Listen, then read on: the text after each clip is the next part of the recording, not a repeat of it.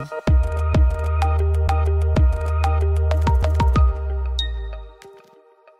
привет. Значит, э, я хочу немножко, совсем чуть-чуть э, рассказать о себе, мой бэкграунд, про мой бэкграунд. Мой бэкграунд это бэкэнд на Java. И последние полтора года я пишу практически исключительно на Kotlin. И вот, в принципе, поэтому я хотел бы с вами поделиться каким-то своим опытом. А, и э, рассказать вам то, что я, например, хотел бы знать, когда я начинал э, что-то писать на Kotlin. Итак, э, первый слайд, в принципе, на него можете не смотреть, это для меня, э, чтобы я не забыл какие-то пункты, которые вам надо рассказать, а дальше, в принципе, все остальные слайды уже будут для вас. Итак, Kotlin. Как он вообще, в принципе, появился, как пришла людям в голову мысль, что нужно написать еще один язык.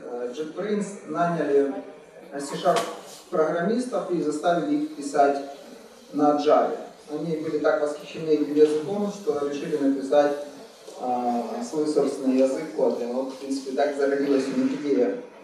А подразумевался как язык, естественно, более лучший, чем Java, который будет а, работать на JVM,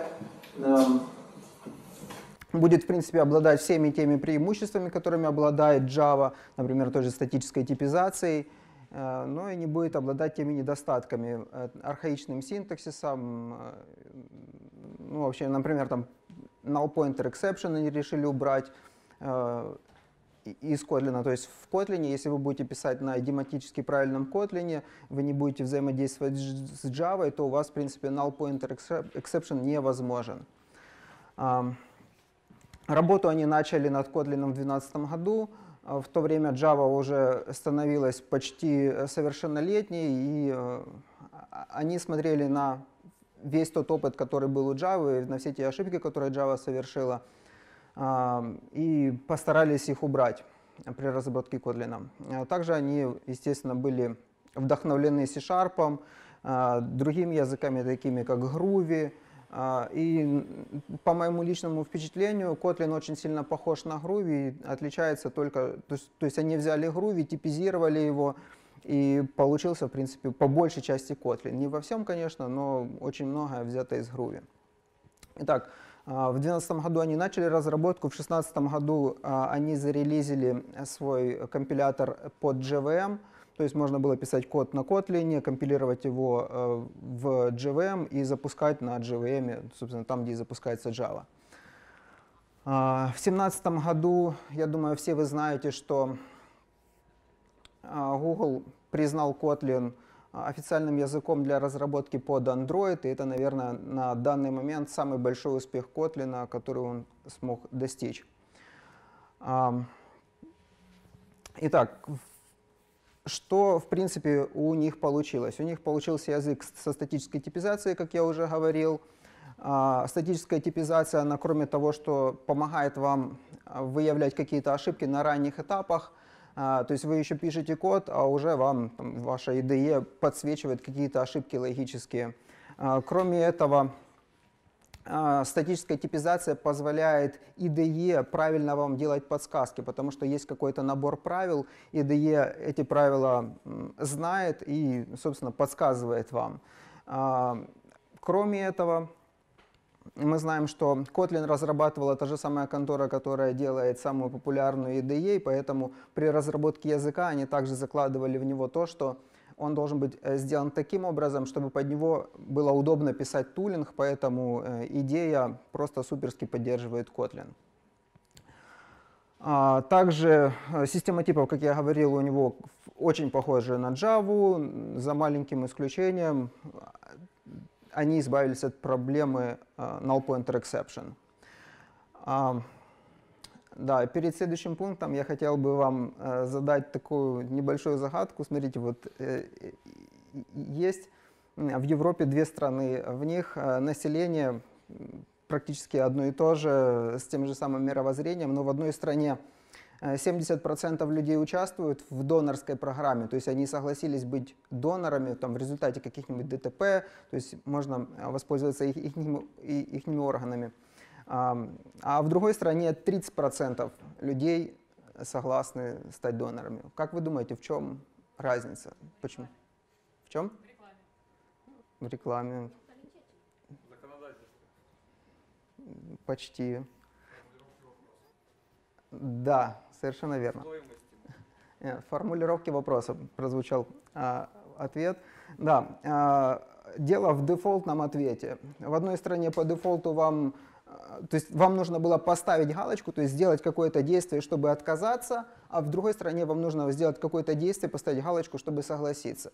Естественно, эта галочка никогда не ставится, и по дефолту в одной стране, получается, больше людей участвует в программе, в другой стране больше людей не участвует в программе. Так вот, э, Kotlin как раз-таки проанализировал использование Java за 5 лет. Опять же, э, у ребят из JetBrains были на то все инструменты, они знали статистику, как мы пишем код, у них есть статистика с IDE. Вот, они проанализировали дефолты и в Kotlin, естественно, выбрали правильные дефолты. Например, Kotlin стимулирует нас очень сильно использовать неизменяемые объекты, неизменяемые переменные. А, например, в Kotlin там все функции по умолчанию публичные, нам не нужно дополнительно что-то писать. Например, в отличие от Java, вот кто-то пользовался, ну понятно, да, что кто-то пользовался, как часто вы пользуетесь дефолтным Э, дефолтной видимостью методов, вот, который называется package private. Да, вот, вам ничего не нужно для него писать, это дефолтное значение, но им никто никогда не пользуется. И в итоге все заканчивается тем, что вы все время пишете либо private, либо public. В Kotlin сказали, что вот есть паблик по умолчанию, и просто ничего не надо писать, и оно будет уже паблик. А, также Kotlin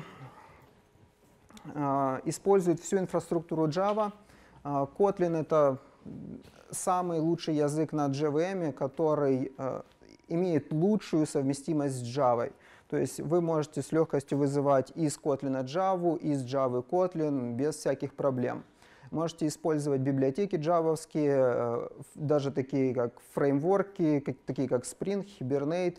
А, более того, ребята из Spring очень сильно заинтересованы Kotlin. А, они уже даже в разработке Spring они уже используют Kotlin, то есть в Spring уже есть классы, написанные на Kotlin. Также, также Kotlin полностью совместим с, с джавовскими build tool ами, такими как Maven, Gradle. Э, и, например, вот в Gradle по умолчанию build-скрипты пишутся на Groovy, и начиная с пятой версии э, Gradle они зарелизили Э, возможность писать build-скрипты на Kotlin. То есть пока что это еще не мейнстрим, но я думаю, что там, в ближайшие годы э, станут Kotlin очень сильно использовать э, для скриптов на Gradle, потому что он статически типизирован, идея может хорошо очень подсказывать, потому что сейчас скрипты на Groovy, они такие себе, не супер удобно с ними работать. Да, и также ну, как я уже сказал, Kotlin утилизирует всю инфраструктуру Java, в том числе программистов. То есть если вы можете писать код на Java, то после небольшого туториала, там в пару часов, вы уже можете начать писать код на Kotlin, в принципе, без особых каких-то затруднений. Да, вы будете писать по-прежнему Java, вы не будете еще писать Kotlin, но оно, по крайней мере, будет у вас работать, запускаться, и, в принципе, вы можете уже входить в Kotlin.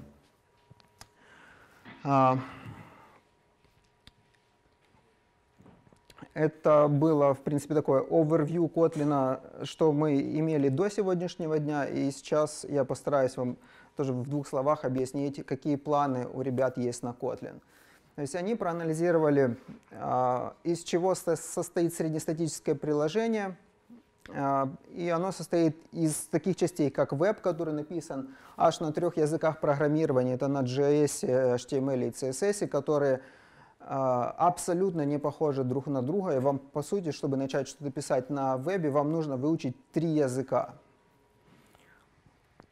А, мобильная разработка, да, там Java и э, Objective-C, либо Swift, если это совсем модно, молодежно. А, бэкэнд, который это все обслуживает, э, зачастую написан на Java, опять же, на самом популярном языке в мире – и скрипты мы пишем на каком-нибудь питончике. Скрипты, обучающие какие-то штуки. Питон занял эту нишу. А, Kotlin, как я уже говорил, ну и как вы уже, как вы знаете, наверное, без меня, а, признан официальным языком а, для разработки под Android. Используя, в принципе, тот же компилятор, мы можем писать код, который будет запускаться там же, где и запускается сейчас наша Java на бэкэнде, поэтому на бэкэнде тоже с легкостью можно использовать Kotlin. Ну, собственно говоря, э, я его уже полтора года так использую не могу нарадоваться.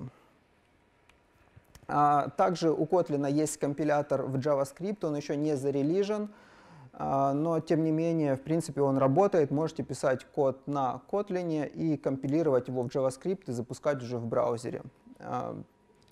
А, опять же, да, вот я еще хочу здесь остановиться и сказать, что то, что я здесь зарисовываю значки других языков программирования Kotlin, это не значит, что Kotlin там будет доминировать и, или вообще будет там хоть сколько-либо значим. Это значит, что Kotlin в принципе может там что-то делать.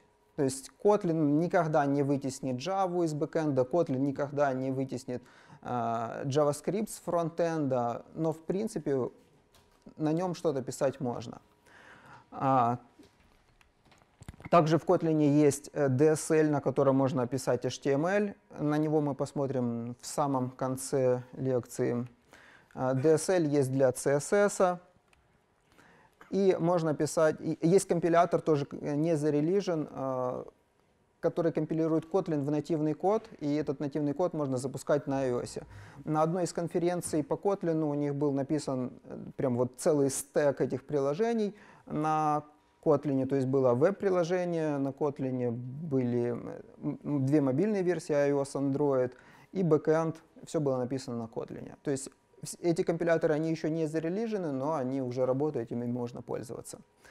И скромно остается на слайде Python, э, и у Kotlin тоже есть э, чем его покрыть.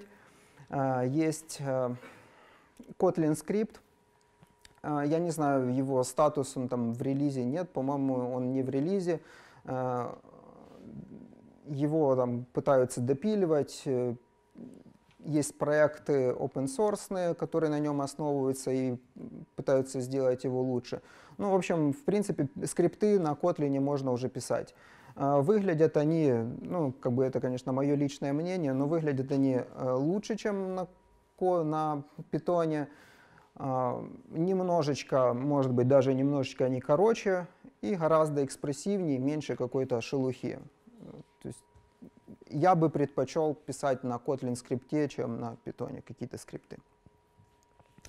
Да, и еще очень важно то, что а, если вот эти все компоненты будут использоваться, будут написаны на одном языке, на Kotlin, то для связи между фронтендом и бэкэндом мы можем использовать какие-то родные котлиновские э, связи. Например, э, мы можем использовать какую-нибудь котлиновскую сериализацию, которая бы заменила, например, gRPC, э, ну, естественно, JSON, и там в каком-то супероптимальном виде отправляла сообщение с бэкэнда на фронтенд, э, это бы все было там типизировано, проверяемо, валидируемо. Ну, в общем, у вас был бы один и тот же код и на фронтенде, и на бэкэнде, который, например, занимается валидацией. Вот. Работы над э, такой сериализацией еще ведутся, ну, ну, то есть это у них в планах есть. Kotlin Native? Um, Kotlin Native, uh, ну я его упомянул. Какой вопрос?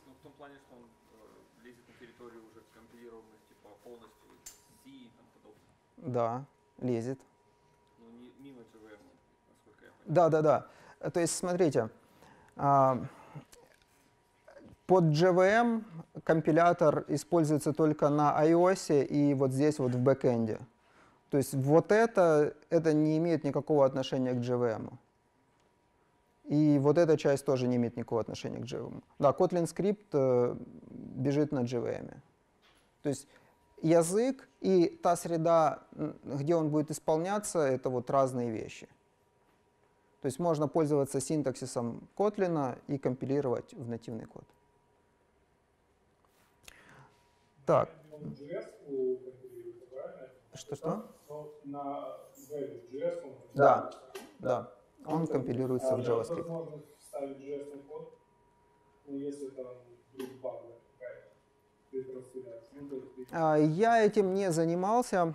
Я знаю о том, что такое существует. А конкретно какие-то там специфические вопросы вставить JS код, я думаю, что нельзя. Да. Заменил уже микроэдишн джавовский на микроконтроллер? Я не знаю, что это такое. Ну, есть Java микроконтроллер, то есть серия. Я не осведомлен.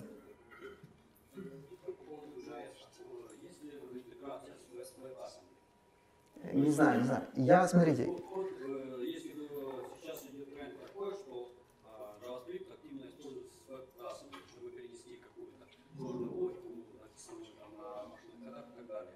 Э, я не знаю, я не работал. Я не работал с Kotlin на, на JavaScript. Я работал вот, вот в этой области.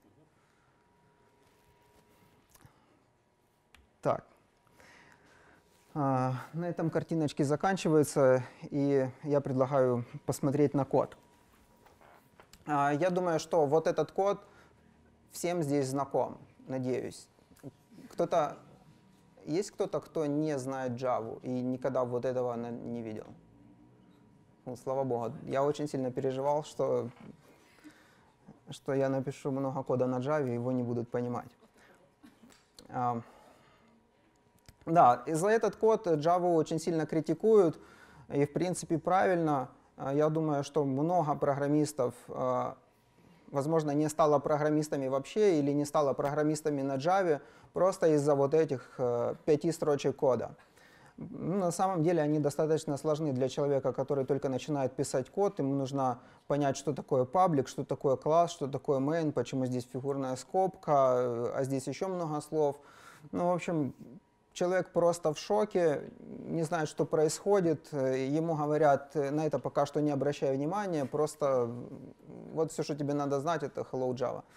Вот. И это многих а, останавливает от изучения данного языка. А, Что нам предоставляет Kotlin?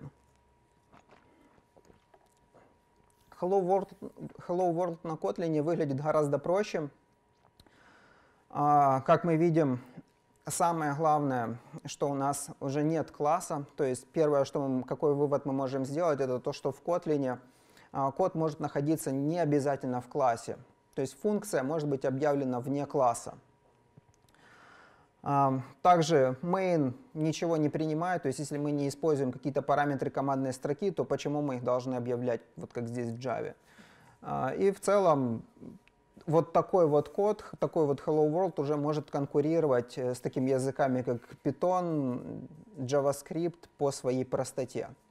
Но, наверное, Kotlin не был бы Kotlin, если бы нельзя было написать даже вот так. Но на самом деле это не совсем прям таки Kotlin, это Kotlin скрипт. А, И Kotlin скрипт, он сам уже является функцией, поэтому ему дополнительно оборачивающая его функция не нужна. И вот Hello World выглядит уже как вообще как на питоне. То есть, в принципе, я считаю, что начинать учить э, язык Kotlin скрипта вполне возможно. А, да, и тут еще нужно еще сделать оговорку, что, может быть, у кого-то создается впечатление, что Java и JavaScript это то же самое, что Kotlin и Kotlin Script, э, но нет. Java и JavaScript это два разных языка, а Kotlin и Kotlin, Ко- и Kotlin Script это один и тот же язык. То есть Kotlin Script, он статически типизирован, то есть это, это, это Kotlin. А скрипт просто, просто потому, что он скрипт. Его можно запускать как скрипт. А, переменные. А в Java у нас переменные объявляются, вначале мы указываем тип, а потом имя переменной. В Kotlin эту всем привычную вещь изменили. А, В Kotlin пишется имя переменной, двоеточие и потом ее тип. А Может закрасться резонный вопрос, зачем это поменяли? Ведь никакого смысла это не несет. Э, Могли бы писать так, как и раньше, как все уже привыкли во всех других языках, э, зачем это менять? Но на самом деле этому есть объяснение, оно не супер практичное, но тем не менее объяснение этому есть. Э, Вот такая вот запись должна быть знакома всем из математики, и она говорит о том, что x принадлежит к области натуральных чисел. Здесь полная аналогия. Мы говорим, что greeting принадлежит к области стрингов. И в данном случае вот это двоеточие – это редуцированный символ эпсилон. А, И такая форма записи используется во многих функциональных языках, и, как вы знаете, в последнее время тенденция идет к тому, что все языки пытаются в той или иной степени стать функциональными. Да, Java приобрела лямбды ну, и тому подобное. А, var. var это обязательное слово, ключевое слово в Kotlin для объявления переменной, которую можно изменять. То есть, в принципе, запись справа и запись слева, они абсолютно идентичны. Да? В Java можно изменять вот такую переменную, она не final, в Kotlin тоже такую переменную изменять можно, она не final. А, И еще маленькое отличие, хотя нет, о нем позже. Да, в принципе, здесь все. Идем дальше. А в Java тоже было бы, наверное, нечестно сказать, что в Java нельзя писать var. Начиная с 10 версии в Java появился var, а, и тип писать не обязательно, тип выводится, и вот такая вот короткая запись может быть в Java, и, в принципе, она в таком виде выигрывает у Kotlin по длине. Меньше надо печатать. Но Kotlin тоже не так прост, и тоже умеет выводить типы. И, а, опять же, то, что не нравилось кому-то, ну, я надеюсь, что кому-то не нравилось, а, кому-то не нравилось, что пишется тип через двоеточие в конце имени переменной. На самом деле это не сильно раздражает, потому что практически никогда мы этого не пишем, а, и мы всегда пользуемся выведением типа.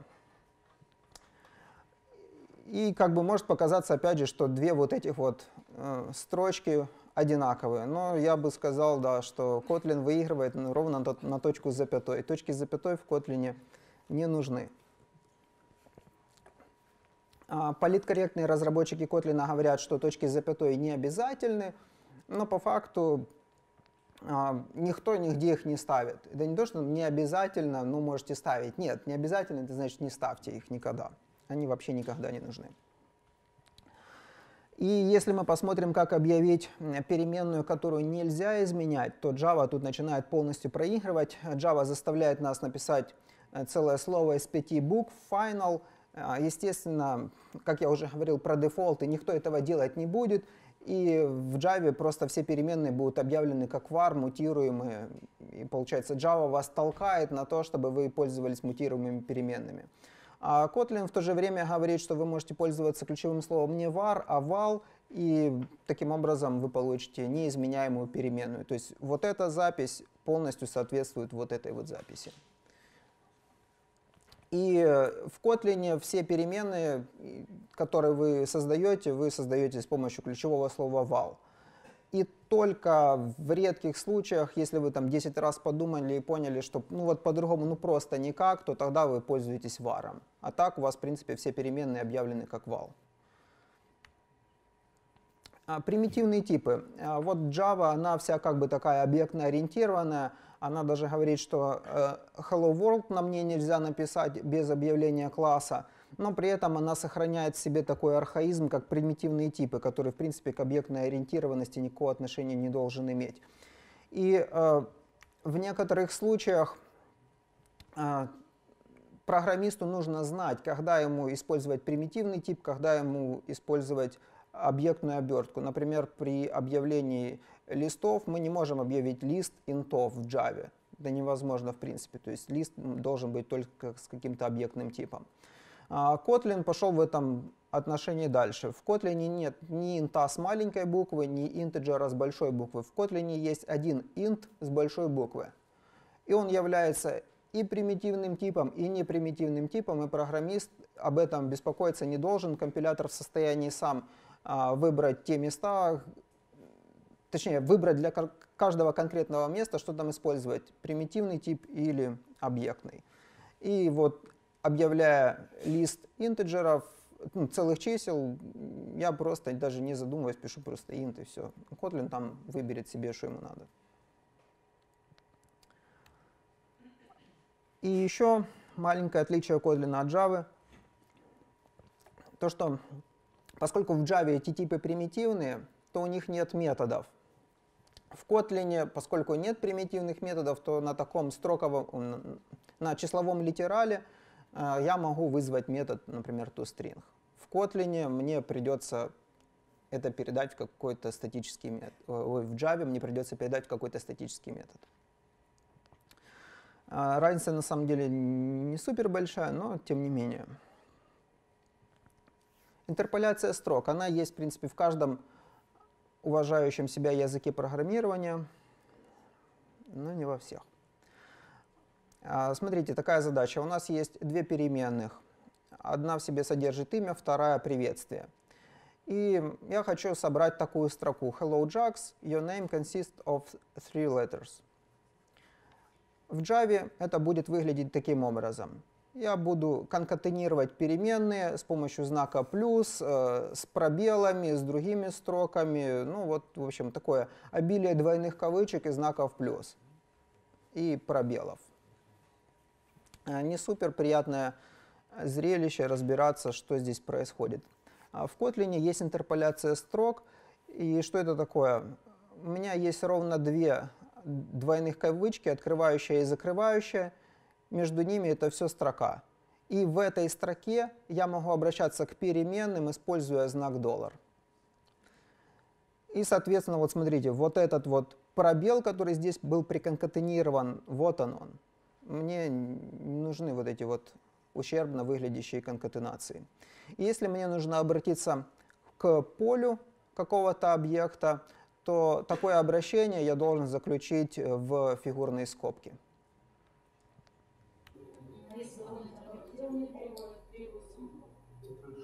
Э, Дополнительное форматирование в смысле...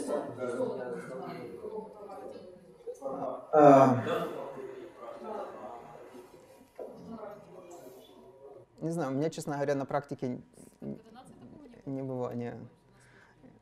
Я как-то у меня получалось избегать использовать использования форматора. Не знаю.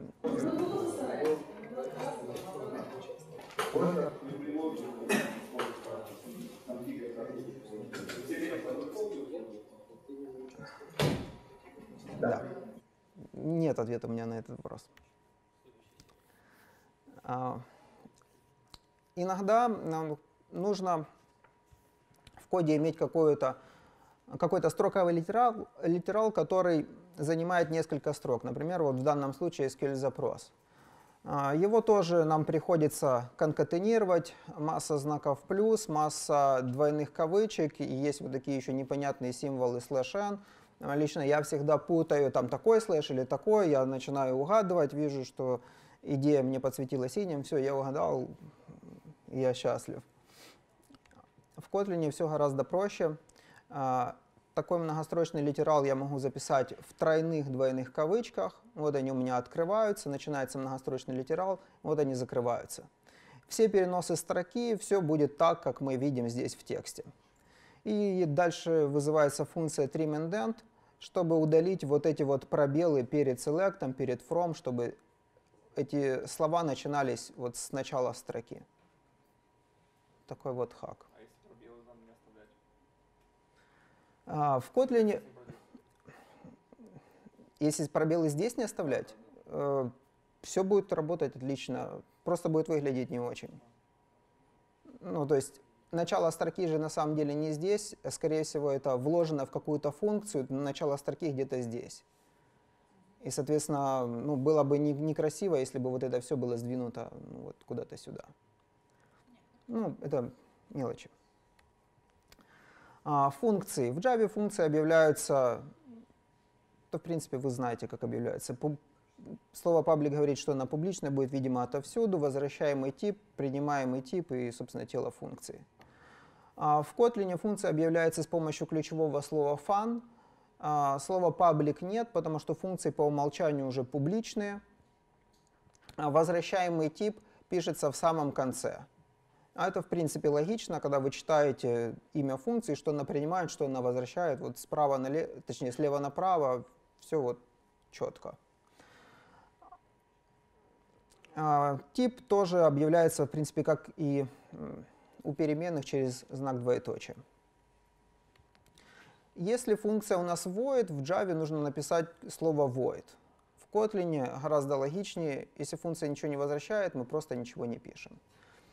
Можно писать здесь двоеточие, и есть такой тип unit в Kotlin, который полный аналог void в Java, но это не обязательно, и никто никогда это не пишет.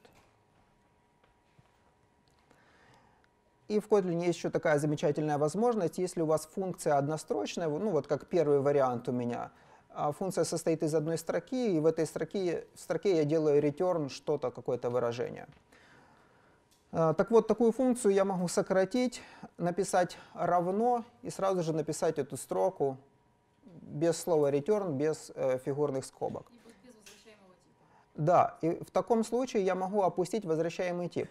А, Я могу его и написать, то есть он там может присутствовать, но зачастую он там не нужен. В таких вот обычно однострочных э, имплементациях тип понятен. Ну вот как в данном случае я вижу, что здесь функция toInt. Я знаю, что это будет int. Ну обычно здесь э, очень часто здесь просто вызывается какой-то конструктор, и вы прям видите, конструктор какого типа был вызван, и вы понимаете, какой тип возвращается. То есть зачастую этот тип писать не нужно, но повторюсь, что если нужно, то можно написать.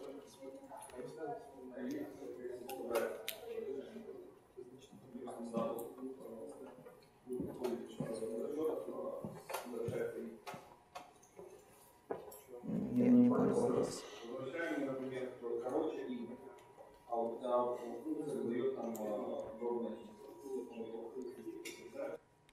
Нет, будет поведение точно такое, как и в Java. Java не кастует, вы не можете вернуть int из функции, которая возвращает double. То есть это ошибка типа. То есть приведите самостоятельно int к double и верните его. То есть автоматически сделать этого нельзя в Kotlin.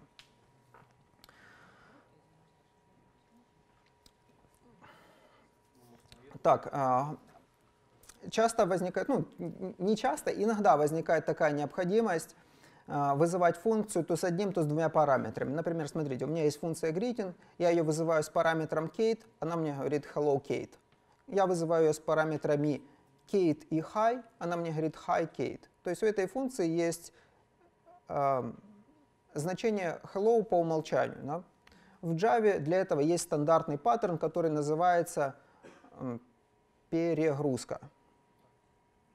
Мы объявляем функцию, которая принимает э, все параметры, делает тут свои грязные дела. а, И мы объявляем еще одну перегруженную функцию, которая вы- вызывает основную функцию и передает ей в качестве второго параметра дефолтное значение. В принципе, известный всем паттерн, все сто раз пользовались. А В Kotlin поступили вот так. Они сказали, что а у нас просто в параметре, в параметре функции вы можете указать его дефолтное значение. Всегда обязательно тип указывать. А, да, тип обязательно здесь указывать. В питоне, например, можно. Ну, это ж питон. Ну, вы как бы, да. Да, и получается, если такая функция будет вызвана с одним параметром, то второй параметр возьмет вот это дефолтное значение с двумя параметрами. Будет дефолтное значение, точнее, будет то, то значение, которое передали во втором параметре.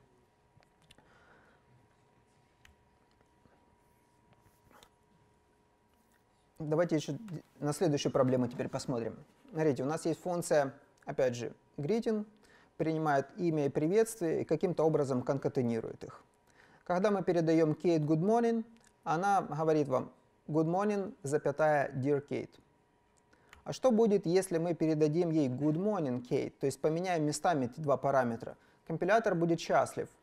Типы совпали, все отлично, все компилируется. Но по факту вывод у вас э, неправильный. То есть у вас пишется Kate, запятая, dear good morning. Вообще бред какой-то. Э, И у Java нет никаких механизмов, чтобы побороть вот эту проблему. У Kotlin есть именованные параметры, и при вызове функции вы можете сказать, что этот параметр — это приветствие, а этот параметр — это имя. И Kotlin всегда может разобраться, что куда присвоить, независимо от того, в каком порядке вы это перечислите. Ну и также, естественно, побочный эффект от этого, э, если у вас функция принимает много параметров, вы можете их проименовать, и при чтении э, такого кода будет гораздо понятнее, что там происходит.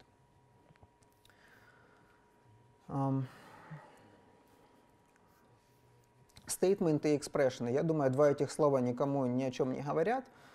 А, Но в Java многие конструкции — это стейтменты, и они ничего не возвращают. Давайте посмотрим на такой пример.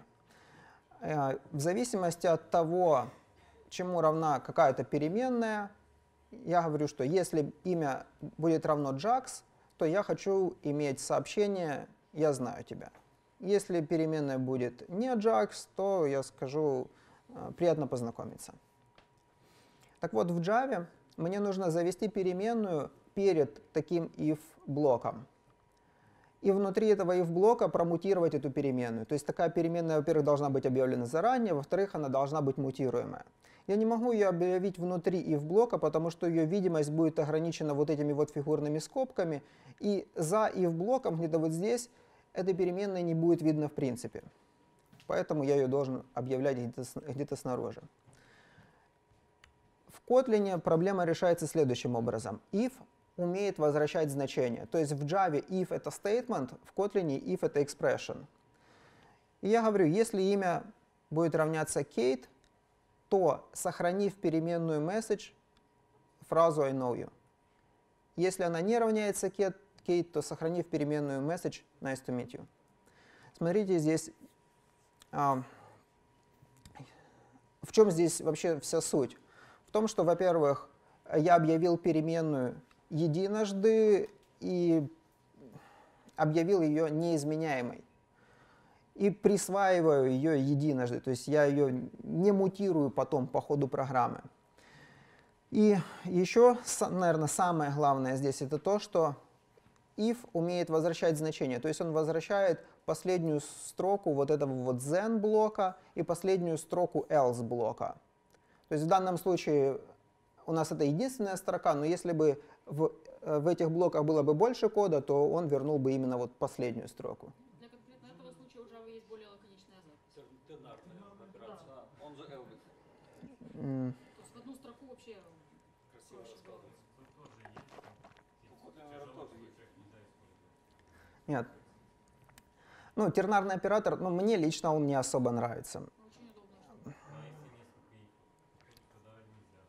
Почему? В скобки через n там или что? Ну, это вообще жестячок. За- зато лаконично. Кто как умеет. Почти как А, да, в Kotlin нет тернарного оператора, и это они сделали целенаправленно. Они сказали, у нас есть клевый if, который умеет возвращать значение, пользуйтесь им. А, Ну, он не нужен на самом деле, тернарный оператор. Но, ну, он, там, он, например, часто используется там, в проверках на null каких-нибудь. Ну, так в Kotlin есть гораздо более удобные средства для работы с налами. Ну, Во всех одиночных проверках просто must have, лаконично. возможно. Но разработчики Kotlin так не считают. Так, с этим, да, и еще маленький момент. Обратите внимание на вот это вот двойное равно и на вот это вот equals Java. То есть в Kotlin двойное равно — это equals. А, И сравнивание по ссылке — это тройное равно, но за мои там полтора года использования Kotlin я нигде не видел вообще ни разу тройного равно. Ни в каких библиотеках, ни в примерах, не сам использовал, просто никогда не видел тройного равно. Мне почему-то кажется, что если выйдет язык, в котором не будет сравнения по ссылке, то никто этого не заметит. Да. А, просто переопределяете equals. Да, в Kotlin просто переопределяете equals у своего класса. Да, да, да. Это просто, ну, это как, как алиас, что ли. То есть при вызове вот этого двойного равно вызывается equals. Никакой магии. Маленький синтаксический сахар.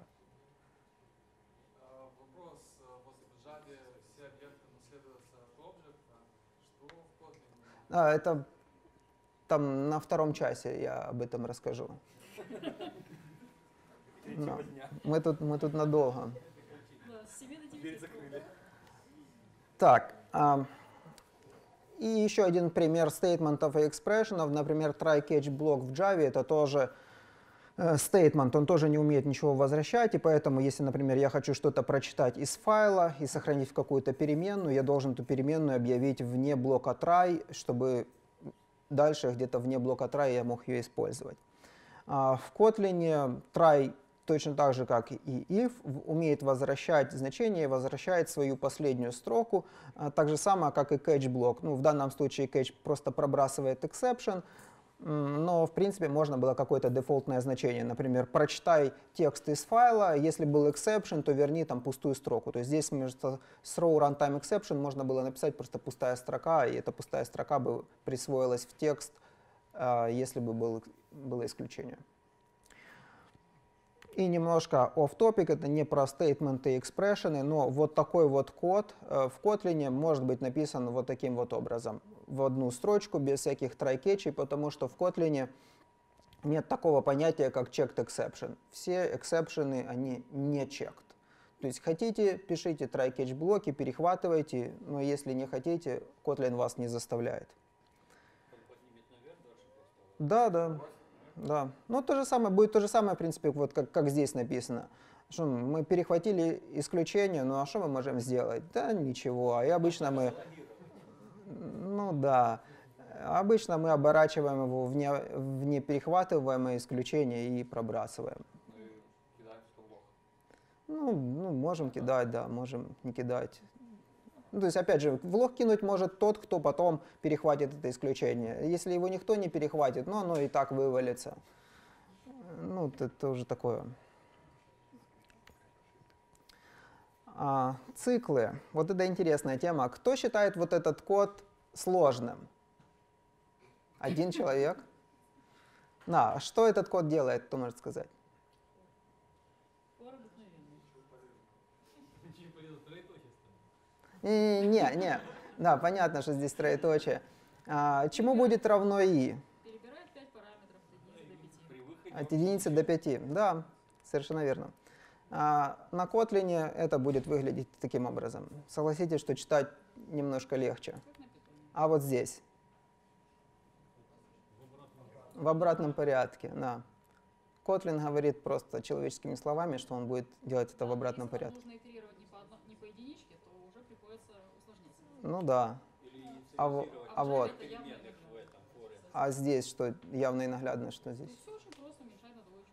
Уменьшает, отлично. Да, в Kotlin тоже все очень просто. Пока разберешься, а там все сразу понятно. Ага. Ну, хорошо, хорошо. А, да, то есть циклы в Kotlin, ну, по-моему, по-моему, явный победитель здесь. И итерирование по коллекциям, в принципе, в Kotlin мало чем отличается от Java. Особо останавливаться тут не стоит. Итак, коллекции. А в Java, в, по-моему, в 9 да, появился такой синтаксис э, создания листов. А, Можно легко и просто создавать листы, наконец-то. А в Kotlin давным-давно есть тоже что-то подобное, и тоже, в принципе, создается лист. Ну, тут особо больше ничего не расскажешь про это. Там, по-моему, есть отличие, то, что это immutable лист. У Kotlin. Immutable. Ну, хорошо. Сейчас, сейчас мы поговорим об этом. А, Итак, э, если я хочу достать что-то из листа, то э, в Java мне нужно вызвать метод get. В Kotlin мне нужно вызвать оператор get. И, в принципе, это перекликается вот с тем вопросом про двойное равно и equals. А, Двойное равно будет просто, будет просто вызван equals. Здесь то же самое. Во время вызова вот этих квадратных скобочек будет просто вызван метод get. Никакой магии.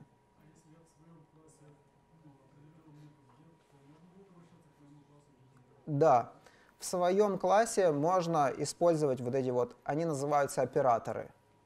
Эти операторы можно использовать. Небольшую там приписочку, оператор и все. Можно все использовать, там плюсы, там много чего. Мы, в принципе, сейчас по ходу посмотрим. Я особо останавливаться на этом не буду, как, как это делать, но я думаю, вы, вы- основное вы уловите. И если я захочу а, что-то добавить в этот лист, то мне, опять же, в Java мне нужно вызвать метод add, в Kotlin мне нужно вызвать а, оператор add. плюс равно. Согласитесь? А если Достаточно. строку захочу добавить в числовой, ну, это же Kotlin, у него статическая проверка. Ну, это же не питон. То есть э, он, естественно, скажет, что так нельзя делать. То есть еще на этапе э, Конечно, конечно, на этапе компиляции. Компиляции?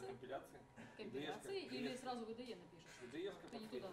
А, окей, и IDE-шка подсветит, да. Вот, вот в этом Ну, а если вы компилируете, например, из командной строки тулой каким-нибудь грейдлом, то, ну, то есть это, это называется этап компиляции. Так, ну и теперь у меня к вам вопрос. Что произойдет, э, вот, если выполнятся вот эти три строки кода и вот эти три строки кода? То есть это в Kotlin, это в Java. Смотря куда добавиться, это надо знать. Но правильная мысль, Выход за рамки. правильная мысль уже звучала сегодня. Выход за рамки, послушай. Kotlin будет exception. Exception. В рантайме? Наверное, опять будет... Давайте не- скорее всего, подсветит, что ты как бы что-то не, не туда рулишь. Да, Kotlin, да, Kotlin подсветит. А, вот что будет. В Java будет runtime exception, то есть во время компиляции, во время редактирования кода в IDE вы не увидите никаких проблем в Java. А в Kotlin вы сразу же увидите проблему, Kotlin вам скажет, что так делать нельзя. Давайте разберемся, в чем здесь причина. А, не, не, не в скобочках. А, не, не выход, и не... А, дослушайте. А, Дело в том, что вот этот оператор off, он на самом деле нас немножко обманывает, и он нарушает принцип подстановки Барбары лисков.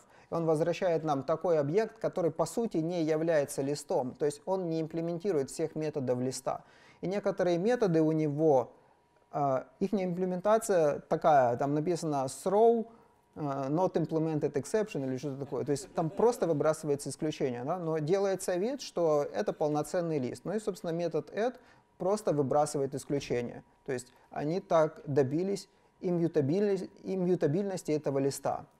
А в Kotlin пошли немножко по другой дороге. Они сказали, что наш интерфейс лист, он в принципе immutable.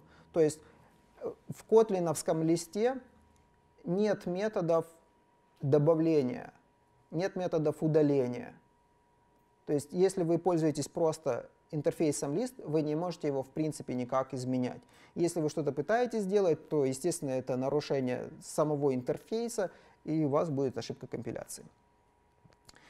А, И что же делать, если все-таки хочется мутировать? А, В Kotlin есть и, ну, такой метод э, mutable list of, и он возвращает вам а, экземпляр ам, интерфейса mutable list. И вот mutable list, он уже имеет в себе все методы, да, да, это по сути аналог обычного листа. Но на самом деле, опять же, Kotlin а, очень хорошо взаимодействует с Java, и, в принципе, с точки зрения Java, вот этот immutable лист котлиновский, он такой же самый лист и джавовский. Ну, то есть там, ну, там как бы немножко сложновато, но, но это клево.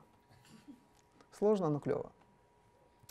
Да, а в Java вот уже, в принципе, на создании mutable листа уже сдулись, им не захотелось вот такой, такую короткую запись делать. И если вам нужен mutable лист, то вы уже должны пользоваться вот таким вот а, старинным синтаксисом. Создали лист, наполнили его, в то время как в Kotlin можно по-прежнему так в одну строчку сделать. И опять же, возвращаясь уже к мутации листа, да, я тут пользуюсь методом add, здесь оператором add, и в данном случае у меня все работает, потому что уже у меня mutable имплементации. Если я хочу установить в какой-то элемент листа а, значение 8, то, опять же, я пользуюсь методом set, здесь это оператор set. Да, и еще по поводу дефолтных значений, вообще применимости всяких эм, плюшек. В Java, в принципе, ну, есть же такой синтаксис. То есть тут ничего нового в Kotlin. Только в Java это, этот синтаксис применяется исключительно к массивам. И так, ис- и так сложилось исторически, что массивами в Java никто просто не пользуется, все пользуются коллекциями, и такой синтаксис, получается, нам недоступен. В Kotlin решили эту проблему, и ну, мы на коллекциях можем пользоваться, пользоваться таким. Массивы там есть? Ну, Ну, Да, есть. Они просто определяются э, компилятором, где массив, где Нет, вы сами. Есть вот такой же, такой же точно метод, по-моему, называется array of. И он создает вам просто массив. Ну, честно говоря, я никогда им даже не пользовался. Все время листы, сеты. И если мне нужно из листа достать первый и последний элемент, опять же в Java стандартный паттерн get 0, get size минус 1, ну, в Kotlin, естественно, все сделано по-человечески, есть просто методы first и last. Kotlin вообще добавляет очень много новых методов э, в стандартные там, интерфейсы, в классы, там в стринг очень много добавлено, и в Kotlin работать со стрингом просто одно удовольствие. У него есть там все, найти символы там до какого-то символа, после какого-то символа, вместо какого-то символа, там просто можно сделать что угодно. Супер удобно работать со стрингами. Ам, Дальше, что у нас по плану мапы. Да, в Java 9 тоже появился синтаксис короткий для создания мап, но там тоже мапы immutable. И если вы хотите делать мапы immutable, то вот такой вот синтаксис, старый, архаичный. А в Kotlin, естественно, есть нормальные синтаксисы для создания мап. И здесь мы встречаем вот такую запись. Строка, потом идет слово to и число. Что это значит? Что это такое это to? Ну, тут нужно сделать небольшое лирическое отступление. Да, она создает пару. Но почему оно так записано? А, ну, ну, запись, запись непривычная, согласны? Или, или это только мне запись непривычная? Вот этой вот ту. Или всем понятно? Так, ну давайте я попробую объяснить для тех, кому все-таки непривычно и непонятно. А, вот такая запись функции, когда функция записана перед ее параметрами, и параметры указаны в круглых скобках, такая запись называется префиксная аннотация. Она нам знакома, в принципе, со школы, а, все языки программирования ее эксплуатируют, и мы ее понимаем на спинном мозге. Вот такая запись, я не знаю, как она называется, наверное, какая-то объектно-ориентированная, а, когда функция записывается у нас посередине, ее первый параметр пишется слева от функции через точку, правый параметр пишется в круглых скобках. Опять же, такая запись тоже для нас э, достаточно знакома, и если вы писали хоть когда-то на каком-то объектно-ориентированном языке, то вам понятно, что это значит. Но если мы посмотрим на эту запись так, э, таким образом, то как-то становится непонятно. Получается, функция записана посередине между двумя параметрами, и э, она разделена со своими параметрами с помощью пробела. То есть непривычно. Опять же, да, и эта запись называется инфиксная, потому что функция находится посередине. Но если мы посмотрим на такой пример, то все станет наоборот. Мы супер привыкли к такой инфиксной записи, когда мы говорим, например, про арифметические операции. То есть, да, функция записана посередине, отделена пробелами. Если я напишу тот же плюс в такой объектно-ориентированной но- нотации, то как-то ну, не очень уже смотрится. А если я напишу плюс в префиксной нотации, то совсем не знакомо. Ну а если я скажу, что функция f принимает два числа и складывает их, да, то получается вот это все вообще это одно и то же. Просто речь идет о том, как это записать. Но по факту это функция, которая принимает два параметра. И все. Kotlin поддерживает это все, да? Же как хочешь. Это поддерживает, это поддерживает, это поддерживает. Да, да, и плюсики тоже. Да, да. Все поддерживает, согласен.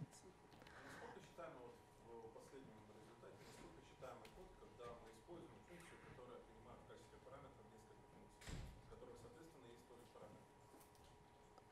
Функция, которая принимает другую функцию. От x. Ну Ну, меньше будет читаемо, конечно. Но я имею в виду, я к чему веду, просто-напросто вопрос э, с левой стороны, то есть правильно, да, можно спокойно, буквально, ну, понятно, что оно не так сочетабельно, но можно понять, где у тебя первый параметр, где второй, где третий, как-то это все собрать.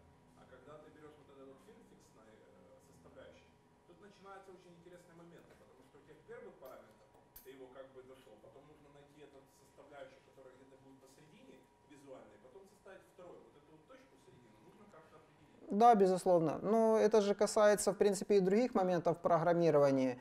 А, И ну, мы всегда стараемся писать код так, чтобы он выглядел красиво.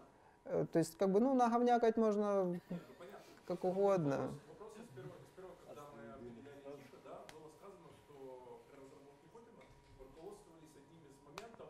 Чтобы было легко читать, да, чтобы было легко читать и записи как в математике, да, да, x принадлежит какому-то множеству. Да. Почему здесь это было? А почему отошли? Ну, я же привел пример, что, ну вот, вот полностью математическая запись, x плюс y. Ну, окей, хорошо. Тогда считайте, что Kotlin отошел от своих принципов, и Kotlin, Kotlin уже не тот. А, Итак, по поводу читабельности. Ну вот, а теперь согласитесь, что функция ту, которая принимает два параметра Вася и 500, ну, она, в принципе, читается достаточно неплохо. И мне особо глазами не нужно искать, где там какие операторы, какие параметры. Ну, то есть, в принципе, все понятно. И функция ту принимает два параметра и возвращает пару, которой, кстати, в Java до сих пор нет. Есть миллион имплементаций в миллионе разных библиотек, но нет ни одной имплементации пары в стандартной библиотеке Java, которой бы все э, счастливо пользовались. А IDE-шка это подскажет, как сделать? А что именно? Ну, допустим, ту это тулить э, в эту пару. Я думал, подсвечиваю. Эм, Ну, не- ну нет, но она не может вам подсказать, что вам писать. Самостоятельно пишите. Ам, Да, и в общем, вот эта функция to возвращает пару. И получается, э, функция mutable map of принимает список пар через запятую. И потом из этих пар, а пары это получается пара ключ значения, mutable map of создает мапу. Понятно, да? И опять же, если я хочу что-то достать из мапы, в Java это метод get, в Kotlin это оператор get. И опять же, смотрите, здесь нюанс. А, В Java есть такие квадратные скобки для массивов, и в них можно передавать только целые числа. В Kotlin, как мы видим, можно передавать строки, например, можно передавать любые объекты. То есть, по сути, это просто ну, такой метод get, то есть короткая запись метода get. Если я хочу а, обновить какое-то значение, положить что-то новое в мапу, опять же, метод put, здесь оператор set. Если я хочу проитерироваться по мапе в Java, это отдельное, м, отдельное удовольствие. Мне нужно из мапы сделать entry set и потом проитерироваться по этому entry set. При этом каждый элемент в этом entry set имеет вот такой вот некрасивый тип map entry.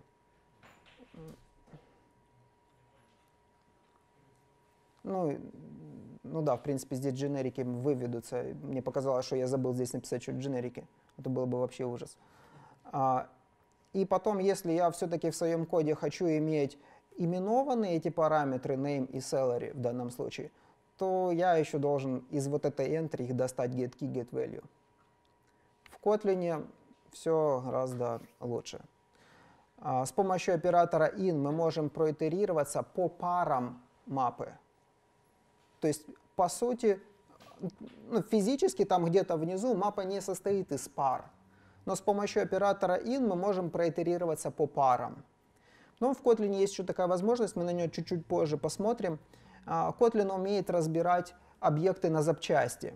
Пара состоит из двух запчастей. А, Первая часть и вторая, first и second, они, по-моему, так и называются. А, И с помощью вот этих вот круглых скобок и записанных двух переменных в этих круглых скобках мы можем разобрать эту пару на запчасти. Первая запчасть ляжет в первую переменную, вторая запчасть ляжет во вторую переменную. Получается, мы итерируемся по парам, разбираем пары, и сразу же они ложатся в именованные переменные. То есть вот, вот этот код на Java, это то же самое, вот этот вот код на Kotlin. Все гораздо короче, понятнее. Ну? Да, они вот здесь объявляются. Нет. А если предыдущий объявил name, то, ну... Ну да, понятно, что будет конфликт имен, конечно. Я вот все смотрю на эти цифры и думаю, а если мне нужно будет где-то int, где-то А, Да, обыкновенно. Они там полностью указывают тип. Вот или указывать, или надо все в одном формате вводить сразу. Ну, вначале при вводе данных получается инты, на самом деле там дабл. Ну Смотрите. оно автоматически Нет, автоматически Kotlin ничего не делает, точно так, как и Java. Java не умеет что делать автоматически. И, в принципе, это правильно. Просто у Java указывается string и integer в начале. Ну, смотрите, если вы укажете, что там, например, а, в качестве значения используется double, а потом вы попытаетесь положить туда integer, то у вас ничего не получится. Правильно? То есть она не будет конвертировать вам. Потому что ну, вы сами должны это сконвертировать. Нет, нет, не будет Java конвертировать. А, что? Нет, ну опять же, смотрите, когда мы говорим про мапу, то это вообще не примитивные типы, это объектные типы. И вот их-то вообще миллион процентов Java не конвертирует. А, смотрите, здесь тип выведется. Здесь тип выведется, и вы его не указываете. Опять же, тип можно указать принудительно. Если вы укажете, что это у вас мапа строка к даблу, и инициализируете ее с помощью вот этого интеджера, то будет ошибка компиляции. Приведите интеджер к даблу, опять же, напишите 500.0, а, получите double, ну, никаких проблем. В принципе, все то же самое, как и в Java. Тут вот Kotlin от Java не отличается. Потому что изображать типа точно так же дженерики. Эм, Да. Дженерики в Kotlin, в принципе, похожи на джавовские. Э, Поверхностно они вообще точно такие, как в Java, но если вы будете лезть в дебри, то они сделаны гораздо лучше. Они сделаны, там, вот, например, super и extends заменено на in и out. А, Например, как в C-Sharp, и это вообще вот просто супер. А super и extends вообще ни о чем не говорит.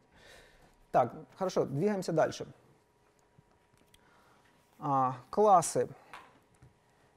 Вот такой вот класс публичный, от который можно, к которому можно получить доступ откуда угодно. Final, а, от него нельзя наследоваться. У него есть одно поле name, поле final, то есть его нельзя менять. А, Есть конструктор, который принимает это имя, и есть getter, который возвращает это имя. Опять же, здесь находятся, я, я вставил здесь троеточие, но я думаю, что ни у кого не возникает вопроса, что скрывается за этими троеточиями. Да? То есть здесь в это поле присваивается значение из конструктора, и в этом геттере просто возвращается это поле. Да? То есть все супер очевидно, и большой вопрос, почему мы должны в Java это писать руками. То есть всем понятно здесь в этом зале, а в Java непонятно, ей надо указать.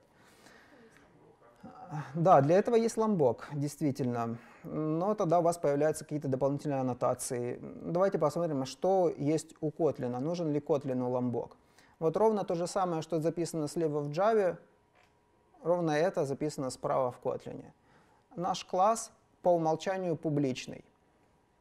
Слово public писать не надо. Он по, умолч... по умолчанию final. От него нельзя наследоваться.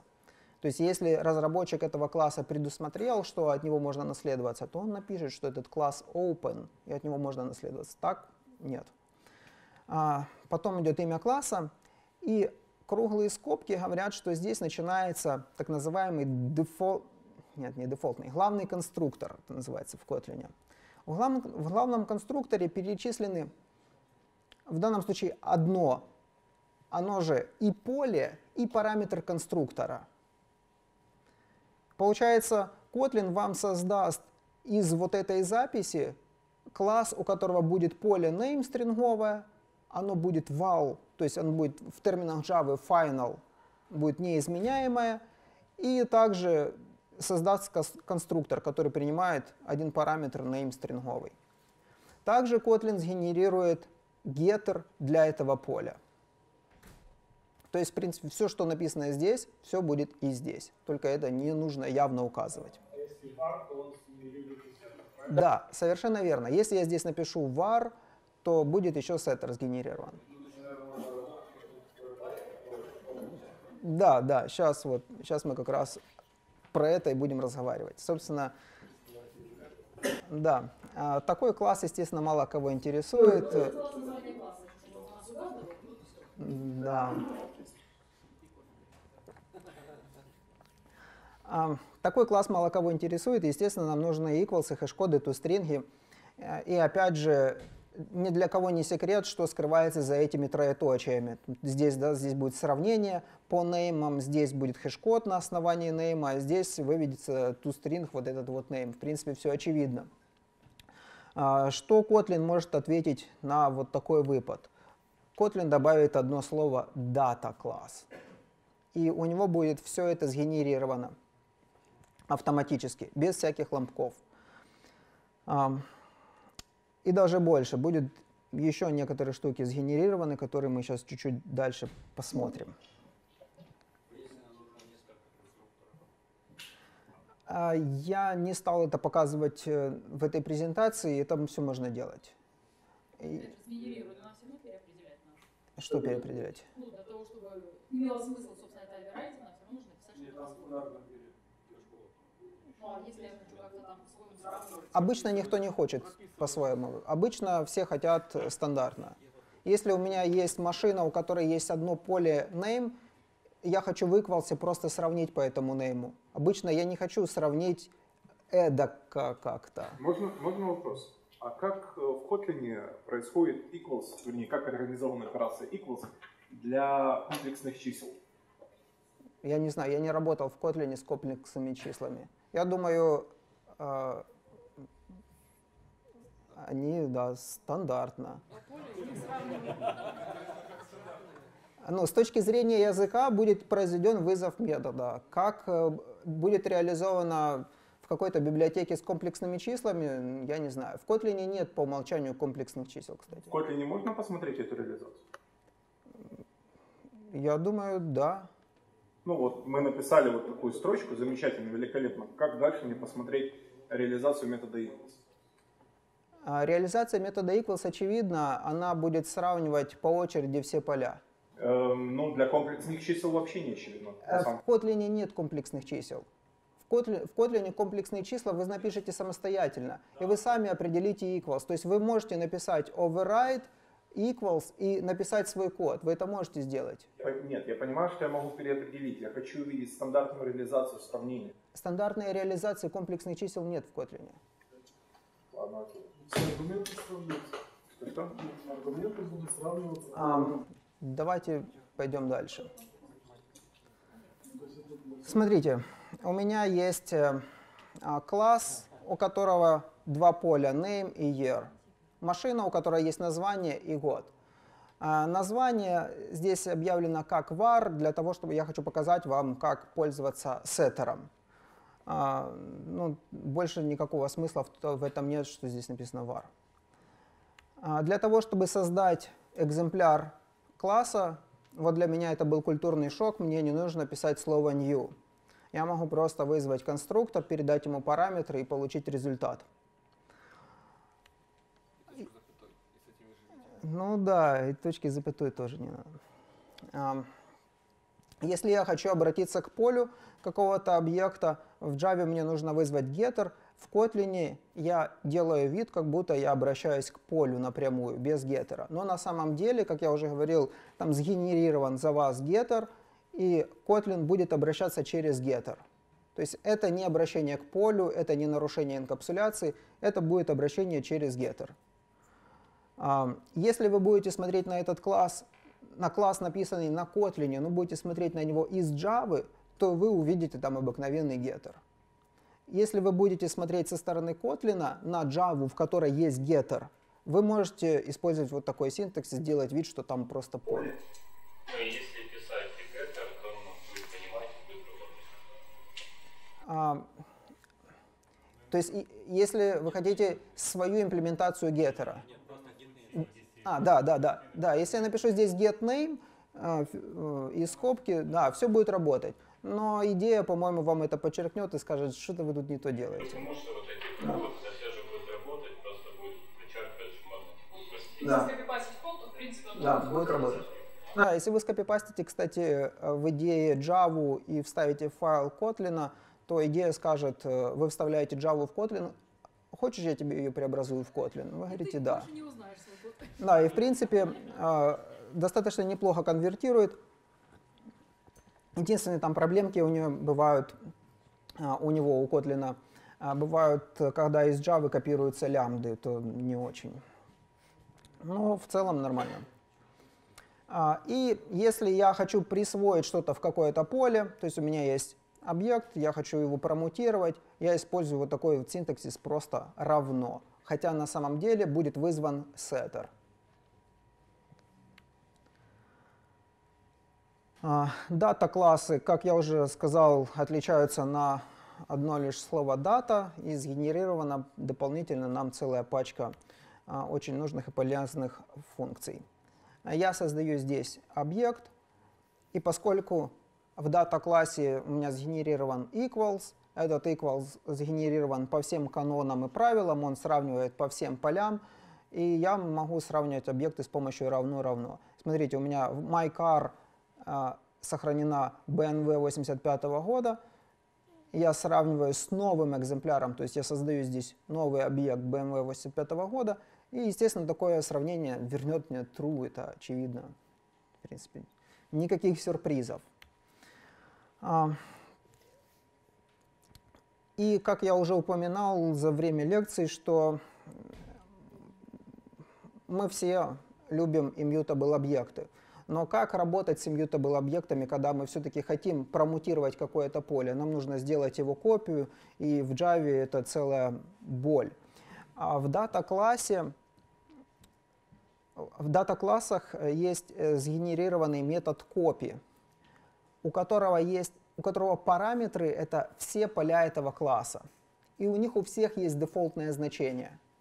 Получается, метод копии я могу вызвать да хоть вообще без параметров, просто скопируется объект. Могу вызвать с каким-то частичным параметром, то есть э, с одним параметром name, у меня скопируется объект, скопируется его год, а имя переопределится тем, что я тут попросил. То есть здесь у меня будет мэр с 85 -го года.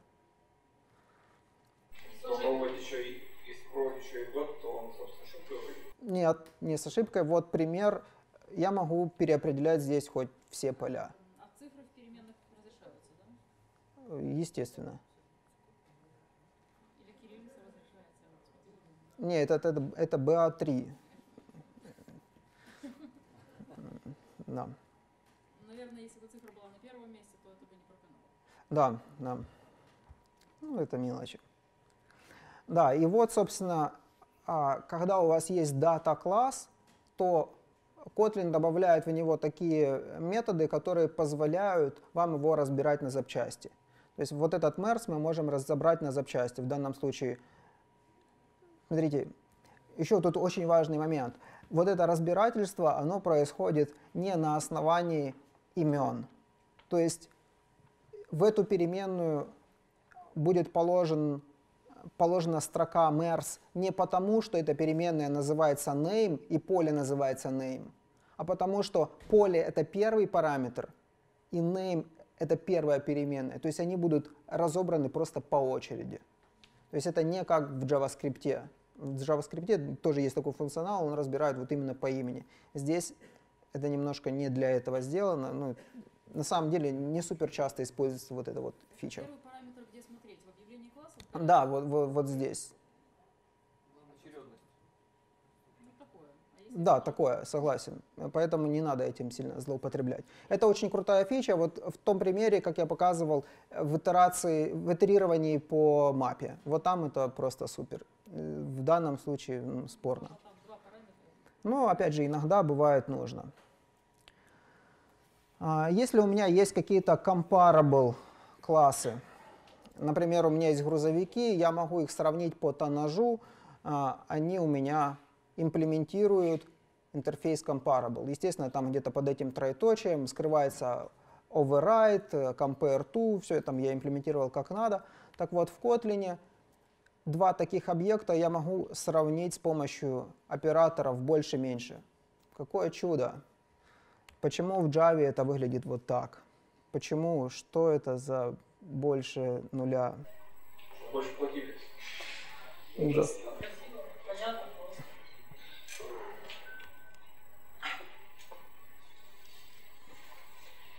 Так, вот эта вот минималистическая запись Это класс э, без э, никаких полей, особого смысла в нем нет, но это так, чтобы от него отнаследоваться. Вот это слово open а, говорит о том, что от этого класса можно таки наследоваться, потому что если его- нет, то наследоваться нельзя. Я говорю, что у меня есть employee, он наследуется от воркера. И в отличие от воркера, у него есть поле employee number. У меня есть переменная worker. У воркера нет никаких полей. Я сохраняю в эту переменную employee. Переменная по-прежнему типа worker. То есть я не могу к воркеру обратиться за employee number. Понимаете, да, о чем речь? М? Ну да, да, оно недоступно. И в Kotlin, смотрите, я могу проверить, worker является ли экземпляром employee, то есть то, что находится внутри переменной worker, является ли это employee. И если да, то внутри if я могу обратиться к переменной worker и попросить у нее employee number. То есть Kotlin достаточно умный, чтобы понять, что если вы здесь проверили а, на то, что является ли worker типом employee, то, и вы попали вот в этот if блок, то значит worker это employee, его можно безопасно прикастовать. И такая фича называется SmartCast. В Java это выглядит вот таким образом. Я тут даже ничего не хочу комментировать.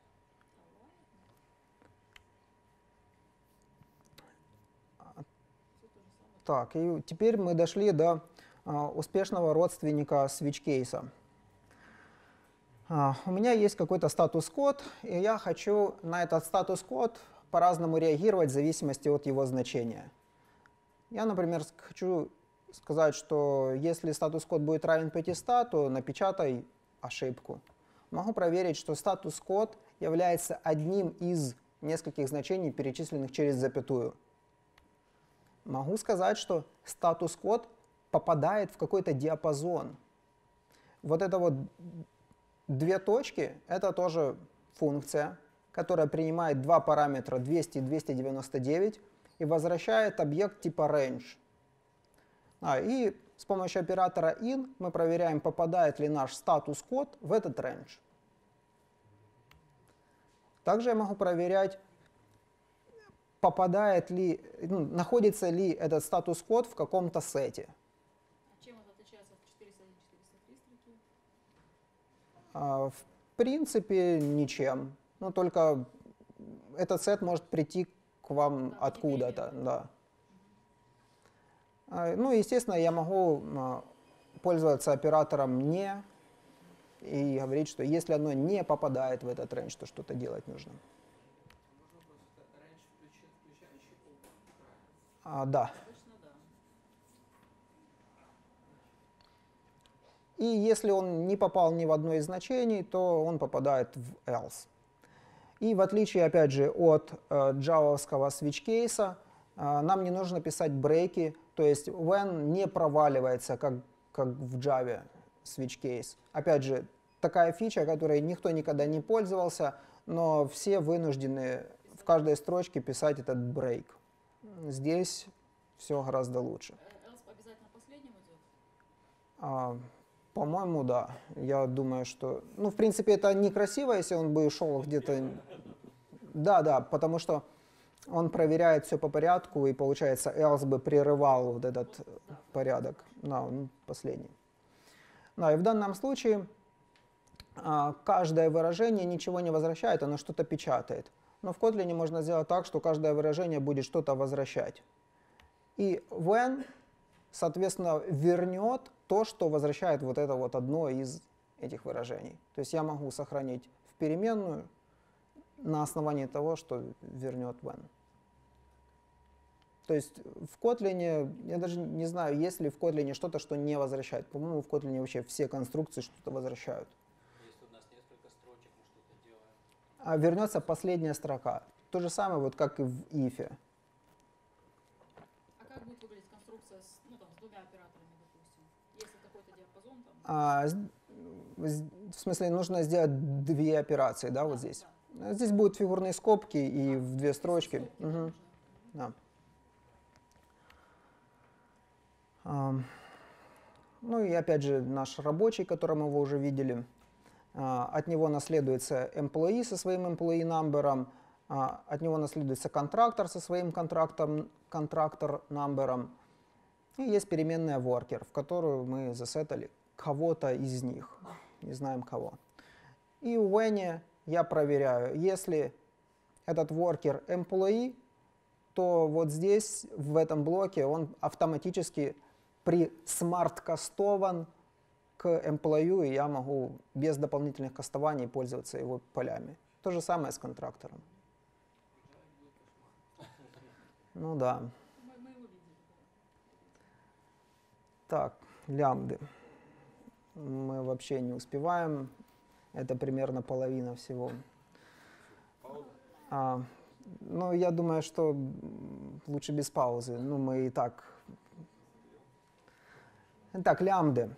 А, в Java лямбды — это такое инородное тело, несмотря на то, что в восьмой Java сказали, что функции теперь first class citizen, но по факту это не так. А, Java, в Java лямбды попытались вписать в уже существующую их инфраструктуру, и а, для того, чтобы мне, например, сохранить лямбду в какую-то переменную, мне нужно сказать, что у этой переменной есть тип, например, function, то есть какой-то функциональный интерфейс. То есть по факту лямбда — это какой, имплементация какого-то функционального интерфейса. Это не что-то самостоятельное. В Kotlin все немножко по-другому. В Kotlin нет необходимости в функциональных интерфейсах, а у лямбд есть свой собственный тип, и он, ну, он как бы называется стрелочный тип. То есть это функция из одного типа в другой тип. И если я хочу сохранить лямбду в какую-то переменную, мне нужно сказать, что это переменная типа такого. Входящий параметр этой лямбды, точнее, входящий тип этой лямбды берется в фигурные скобки, потом ставится стрелка и э, выходящий параметр. То есть это просто тип лямбды. И дальше идет тело лямбды. Оно, в принципе, очень похоже на джавовское, э, за одним лишь исключением – а, оно обязательно должно быть полностью заключено в фигурные скобки. И как бы не показалось, что это какая-то супер маленькая вещь, на самом деле это супер фича. Она дает невероятные возможности. Да просто вот у меня взорвался мозг, когда я понял. То есть, то есть когда я первый раз увидел это, я сказал, ну зачем, ну вот в Java ж так классно, можно не писать эти фигурные скобки, но потом я понял, когда, когда я понял, зачем они так сделали, это просто супер. Мы посмотрим на это. А, естественно, входящий параметр лямбды я могу пере, переименовать, как мне захочется. И если я переименую его в it, то тут а, появляется такая интересная возможность, я могу в принципе опустить такой параметр. То есть если лямбда принимает один параметр, то мы можем его не писать, у этой лямбды будет неявный параметр, и он будет называться it. Э, и как выясняется, большинство лямбд, я думаю, наверное, больше 90% лямбд, принимают ровно один параметр. И получается, большинство лямбд объявляются именно вот с помощью вот этого вот синтаксиса. Как пользоваться этими лямбдами? Смотрите, у меня есть лист, я на нем вызываю метод фильтр. Метод фильтр, в принципе, он работает точно так же, если вы знакомы с джавовскими стримами, работает ну, ну, не точно так же, но почти так. Он не ленивый, в отличие от стримов. А, в Kotlin есть имплементация ленивая, есть аналог стримов, они называются секвенсы, а, но коллекции, они не ленивые, они энергичные. Но делают, в принципе, то же самое. Получается, на листе 1, 2, 3 я вызываю фильтр, и передаю лямбду it больше двух. То есть операция фильтр вернет мне лист из одного элемента. Там останется только тройка. Понятно, да? И смотрите, фильтр — это функция, которая принимает лямбду. В круглых скобках заключена сама лямбда. В Kotlin есть правило. Если функция принимает лямбду последним параметром, то эта лямбда может быть вынесена за скобки. И в Kotlin есть еще одно правило. Если функция принимает единственным своим параметром лямбду, то скобки вообще можно опустить. То есть вот фильтр вообще без круглых скобок. Ну и в принципе теперь вот эту лямбду, ну, она тут, в принципе, коротенькая, можно было бы ее оставить и так, на одной строчке, но можно ее разместить на нескольких строках. И такой синтаксис, вот фильтры, фигурные скобки, он уже начинает выглядеть, как будто фильтр — это конструкция языка. Как будто это не просто функция какая-то, которую мы сами даже можем написать, а как будто это конструкция языка, это что-то встроенное в язык, хотя это не так. И опять же, это достигается, собственно, благодаря тому, что, ну да, есть правила по выносу лямбд за скобки, но и потому, что у этих лямбд есть обязательный, обязательные фигурные скобки.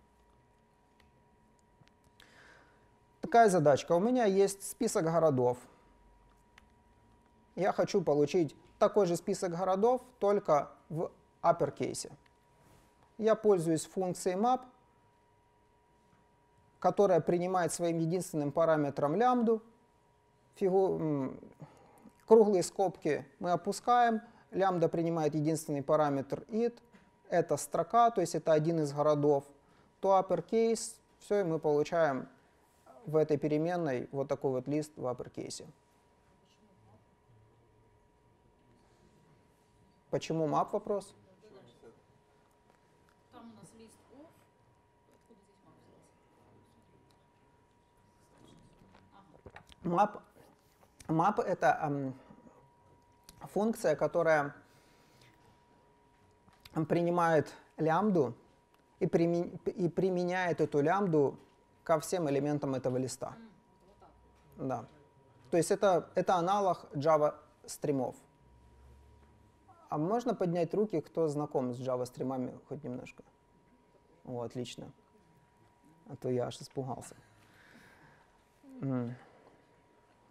Да, то есть map просто применит вот эту лямбду to uppercase к каждому из элементов этого листа. И все.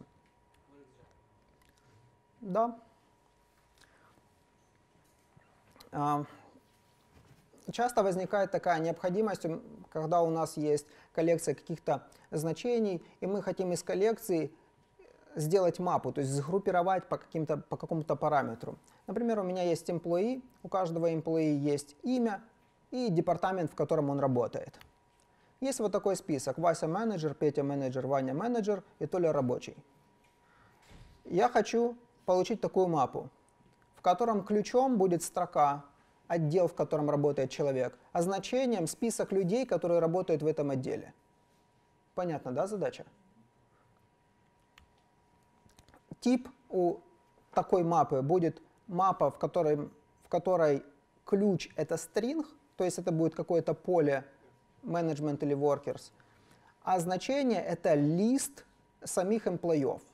То есть это не их имена, а сами employee целиком. Имплементация будет следующая. На листе я просто вызываю метод growBy и передаю лямбду, которая возвращает то поле, по которому нужно провести группировку. Все вот супер просто. На каком-то другом языке, ну, кроме, наверное, SQL, э, это бы занимало ну, прилично кода. Здесь это выглядит просто Супер. Иногда возникает необходимость собрать значения, но не... То есть в данном случае э, ключи, по которым мы группировали, они были не уникальны. Видите, что менеджеры повторяются несколько раз. Но такое бывает не всегда. Иногда у нас бывает, что ключ, по которому мы хотим сгруппировать, он, он уникальный. Например, у нас есть департамент, номер департамента и название этого департамента. И очевидно, что номера департаментов, они уникальны. Ну, в принципе, как и название. Если я хочу собрать мапу, а, то есть сгруппировать по номеру департамента, мне здесь не нужен в качестве значения лист. Мне нужен просто департамент, который соответствует номеру этого департамента. Тип такой мапы будет int, это, собственно, номер департамента, и сам департамент. В отличие от предыдущего примера, это не лист, а просто департамент. И для этого есть а, функция associate by, которая тоже принимает лямбду, и эта лямбда возвращает поле департамента, по которому нужно произвести сгруппировку. Даже не группировку, а ассоциацию в данном случае. Супер. То есть на Java и, опять же, на, на любом другом языке эта операция ну, не была бы такой короткой. Как читать файлы в Kotlin? Я думаю, как читать файлы в Java вы знаете. Это не самое приятное. А, нам нужно создать файл. Это, к слову, просто Java IO файл, это никакой не котлиновский файл. Передать ему имя, точнее, путь к нашему файлу, вызвать метод readText и сохранить в переменную. Все. Вы прочитали файл. Просто супер. Я, вот, я чуть не прослезился, когда увидел вот эту реализацию. И чтобы понять, почему я чуть не прослезился, потому что даже на восьмой Java чтение файла выглядит вот так. Если мы возьмем седьмую Java, то там будет все еще хуже. Наконец-то признали существование файлов как популярной единицы Да, да. И, например, вот в Kotlin скрипте вот, вот это просто супер. Заходит.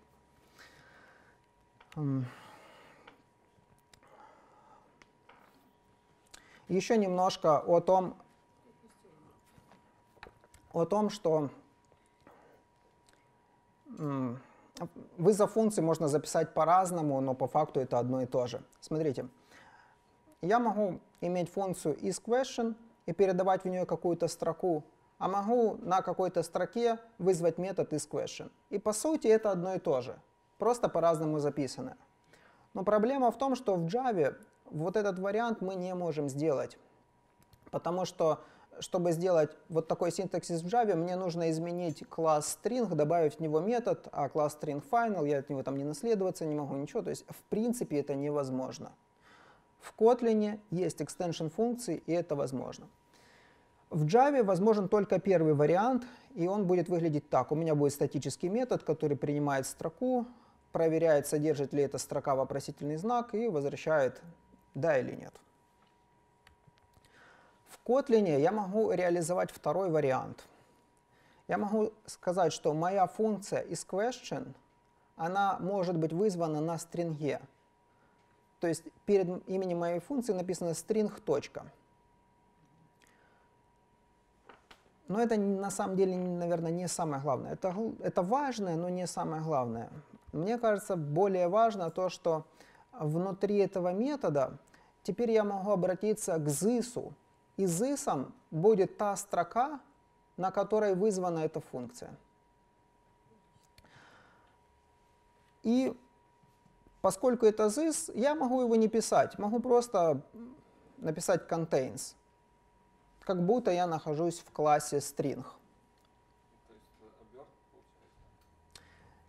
Нет. В том-то и суть, что эм, это не обертка, это не нарушение каких-то инкапсуляций, это просто вот такой статический метод. Просто он по-другому записан. То есть все дело в том, что ну, вот хотите синтаксический сахар. То есть это то же самое, и если вы вот этот метод посмотрите из Java, то вы увидите вот это. При вызове, то есть когда вы будете писать код, вы будете видеть вот это. А когда оно скомпилируется, оно будет выглядеть вот так. Но сейчас мы посмотрим последствия этого. Это очень интересно, если времени хватит, конечно. А, ну и, естественно, я могу воспользоваться короткой записью, а, просто contains. То есть это все равно, чтобы здесь было бы написано this.contains. Ну, ну да, но нельзя равно убрать.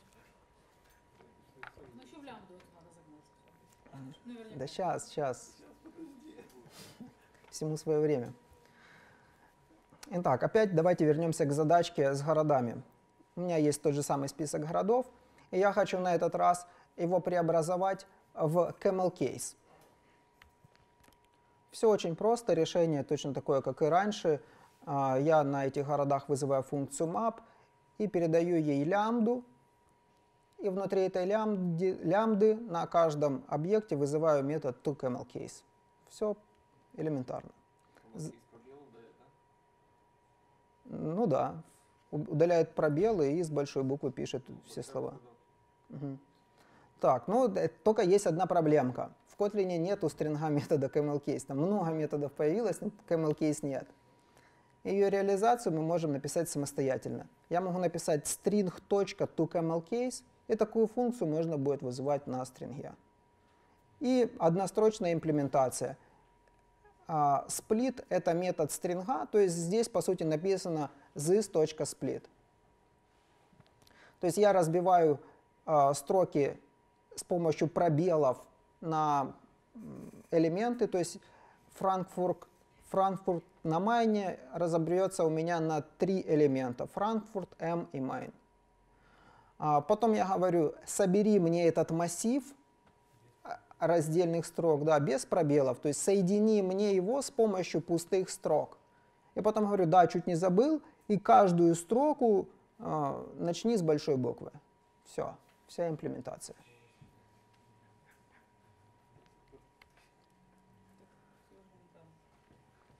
Да. Теперь смотрите лямбды. Просили лямбды. У меня есть переменная, я ее просто так назвал лямбда. То есть это никакое не ключевое слово, это просто имя переменной. У нее тип эм, скобки, которые ничего не принимают, и unit — это аналог void, то есть ничего не возвращает. То есть лямбда что-то внутри себя там самостоятельно делает. Вызвать такую лямбду я могу с помощью скобок, ну, как обычную функцию, то есть ничего необычного. Имплементация такой лямбды может быть вот такой.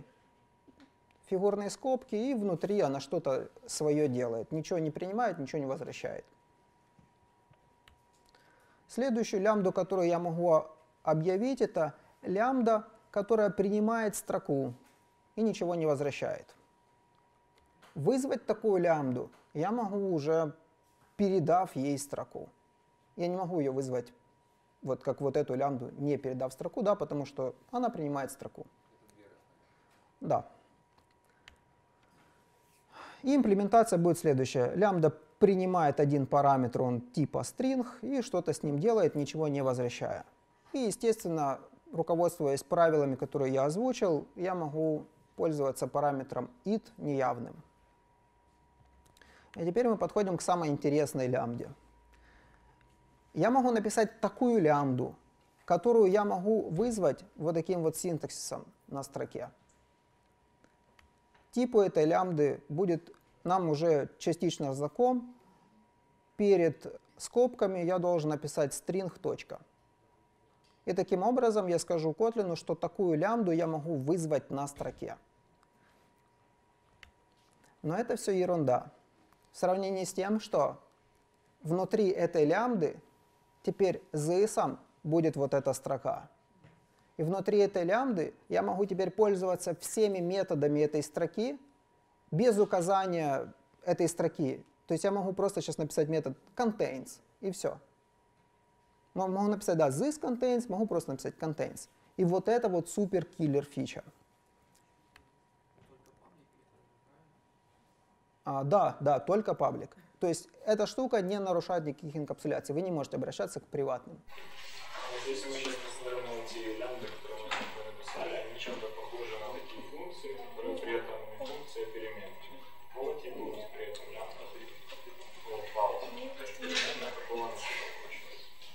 Вот, вот эта переменная вот этого типа. То есть тип стрелка. Тип функция, да. Да. А можно вызвать. Можно вызвать вот так. Можно передать, где она принимается. А, давайте теперь рассмотрим тоже такой достаточно частый кейс. А, с помощью string builder я хочу собрать какую-то строку. Я создаю себе такой string builder, записываю в переменную, и потом на этой переменной много, много раз вызываю append, append, append, append. Потом говорю string builder to string и сохраняю себе message. То есть по факту, что мне нужно было? Мне нужен был message, мне не нужен string builder. Я не хочу заводить переменную под string builder, я не хочу э, много раз к нему обращаться. И ну, лично я помню, в Паскале был оператор with, и на самом деле его достаточно сильно в Java не хватает. Так вот, в Kotlin есть with. смотрите, что можно сделать. Можно сказать with string builder. Потом открываются фигурные скобки. И я обращаюсь к, к методам string builder через this. Может опять же показаться, что with это какая-то встроенная фича в Kotlin. На самом деле это обыкновенная функция, вы можете самостоятельно такую написать. А, эта функция принимает два параметра. Первый — это string builder в данном случае, а второй — лямбда, которая была вынесена за скобки. Круто. И внутри этой лямбды, то есть внутри with вызывает эту лямбду на вот этом объекте. И внутри вот этой лямбды я могу обращаться к этому объекту через this. Естественно, this я могу опустить и написать вот так.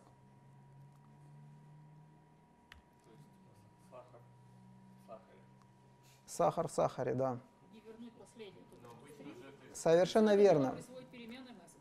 Совершенно верно. Последняя строка возвращается, и вис ее возвращает. И сохраняем это все в переменную месседж. Обычно это используется в цикле. Как сюда засунуть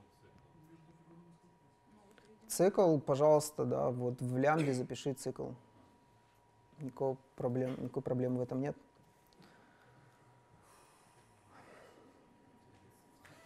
Тяжко?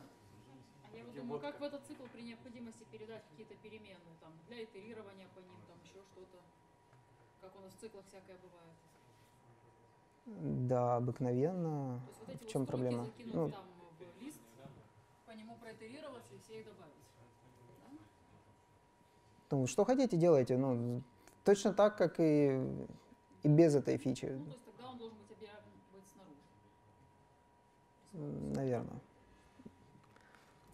Так, еще, э, еще примеры а, того, как можно использовать вот эти лямбды с ресивером. Смотрите, следующая задача. Я создаю машину. Машина — это а, Pojo. Pojo Plain Old Java Object. Это класс, у которого есть э, дефолтный конструктор, который не принимает ни одного параметра, и есть все геттеры сеттеры. И обычно э, нет конструктора, который принимал бы все параметры. И поэтому я создаю а, инстанс класса, а потом его мутирую, чтобы наполнить необходимыми мне значениями. И смотрите, когда у меня машина хочет еще, чтобы ей засетали драйвера, получается, мне нужно еще создать драйвера, создать, опять же, для него переменную. А мне он не нужен был, мне нужна была машина. Мне не нужна переменная для драйвера. Это первая проблема. Вторая проблема. Я не вижу, что, что во что вложено. Я не вижу структуры этой структуры. А, потому что драйвер объявлен на том же самом уровне, что и car, просто раньше. Почему? Ну, в общем, очень сложно следить за таким кодом. Что я могу сделать в Kotlin? Я могу создать объект car, применить на нем функцию apply. Функция apply есть у каждого объекта, то есть она определена на объекте в терминах Java. Функция apply принимает таки лямбду, точно так, как и with. Внутри этой лямбды this является тот объект, на котором apply был вызван. Получается, я могу мутировать этот объект, не создавая какую-то дополнительную переменную под этот car, не указывая постоянно car.type, car.color. То есть я обращаюсь к полям этого объекта как к своим собственным, как к this. А также apply возвращает тот же самый объект, на котором он был вызван. Поэтому я могу сохранить его в переменную. То есть сюда сохранится машина, во-первых, созданная, во-вторых, промутировавшая. То есть в ней уже будут и тип указан, и цвет. Дальше, водитель. Все то же самое. То есть внутри apply я могу создать водителя и вызвать на нем его водительский apply. И опять же, ровно то же самое, я буду обращаться вот в этой лямбде к полям водителя. А если мы там Да. вместо car с большой буквы в скобочках напишем там, Да, да. То есть у нас будет э, old car проапдейченный и car, который морально да. работает. А э, да. После этого он изменится? Да. Это можно что-то типа для объектов. Еще раз замена для чего? А. Ну, не, нет. Анонимный класс, да, имеется в виду? Для Нет. В Kotlin, в Kotlin есть объекты для этого, ну, но я не буду про них сегодня рассказывать, к сожалению. Ам, да, то есть тут, в принципе, все А порядок вот этих э, поменяет ли вот этот порядок изображения в самой, в самом классе? То есть если мы пойдем мутировать эти объекты, а потом разлаживать его в одну строку, то что показано. А От конструктора, наверное, зависит. Я, честно говоря, не понял. Вот э, когда вы как и в языках есть э, вы объект, разла- разлаживаете массив э, переменных. Реализация? Ну, Нет, реализация. Ну, то, что, то, что мы обсуждали, да, да, деконструкция. это, ну. Здесь э, будет влиять порядок, как, как мы их перемутировали на этот порядок? Нет, мы же здесь явно говорим, что мы мутируем type, color, driver, то есть тут, тут нет ничего неявного. Это ж сеттер. Да, это сеттеры обычные. Так. Ам.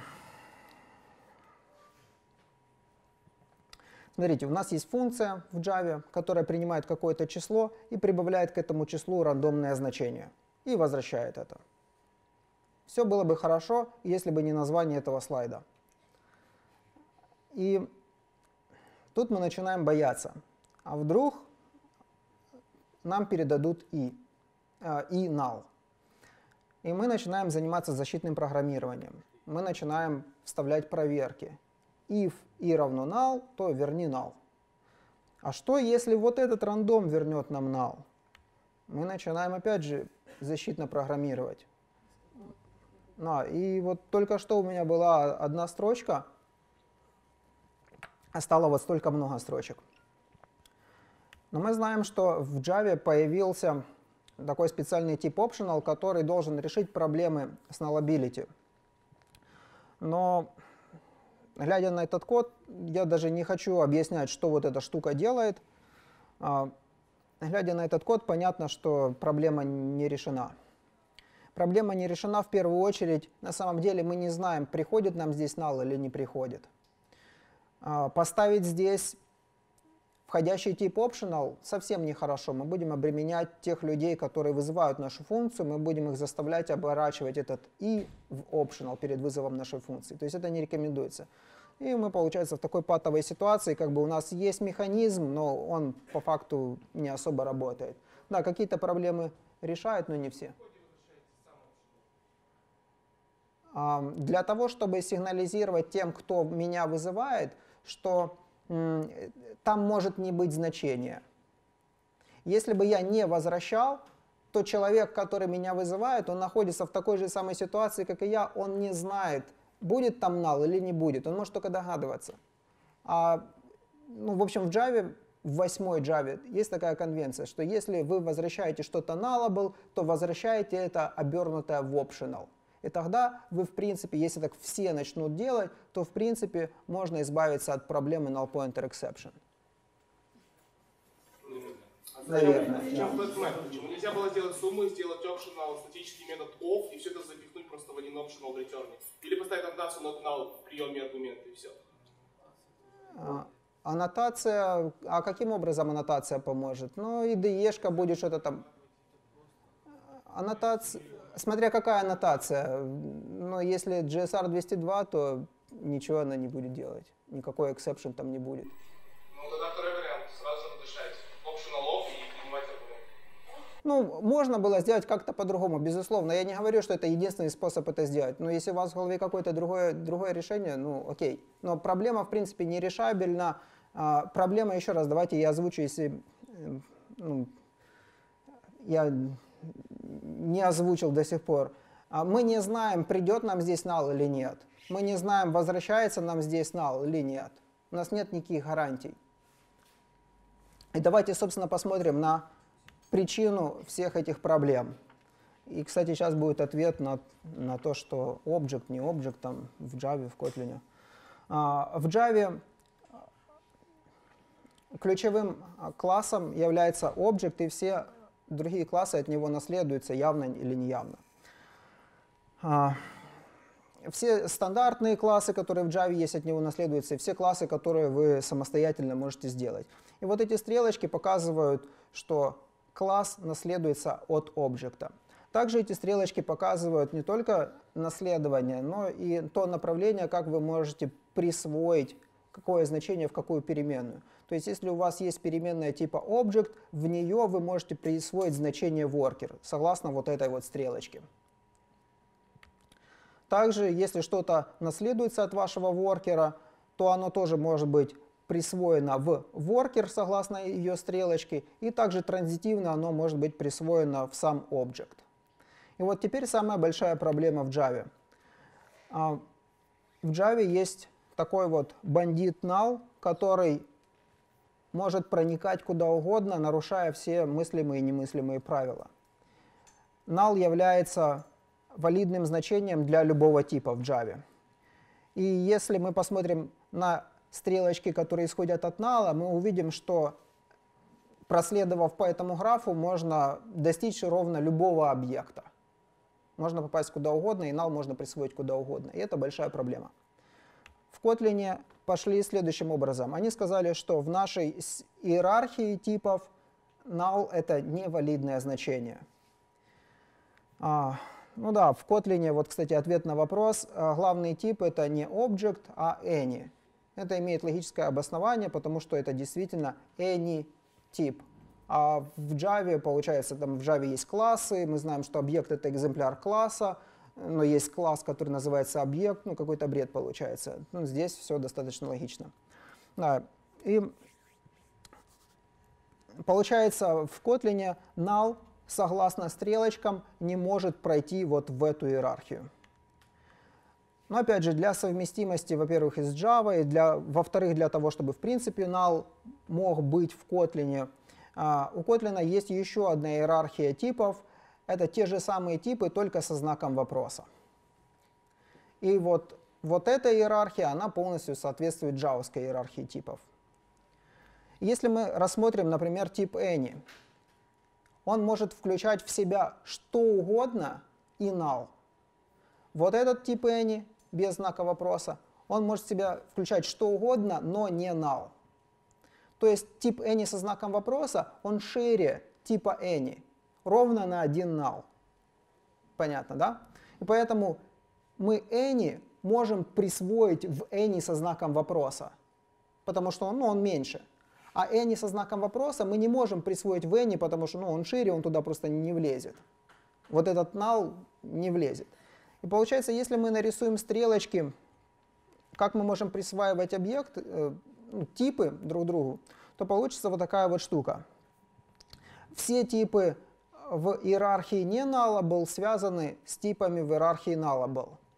Но если мы проследуем, получается, да, что эти две иерархии связаны этими стрелочками, но если мы проследуем из нала по его стрелочкам, то окажется, что у него по-прежнему нет возможности пробраться по стрелочкам сюда, потому что стрелочки все однонаправленные.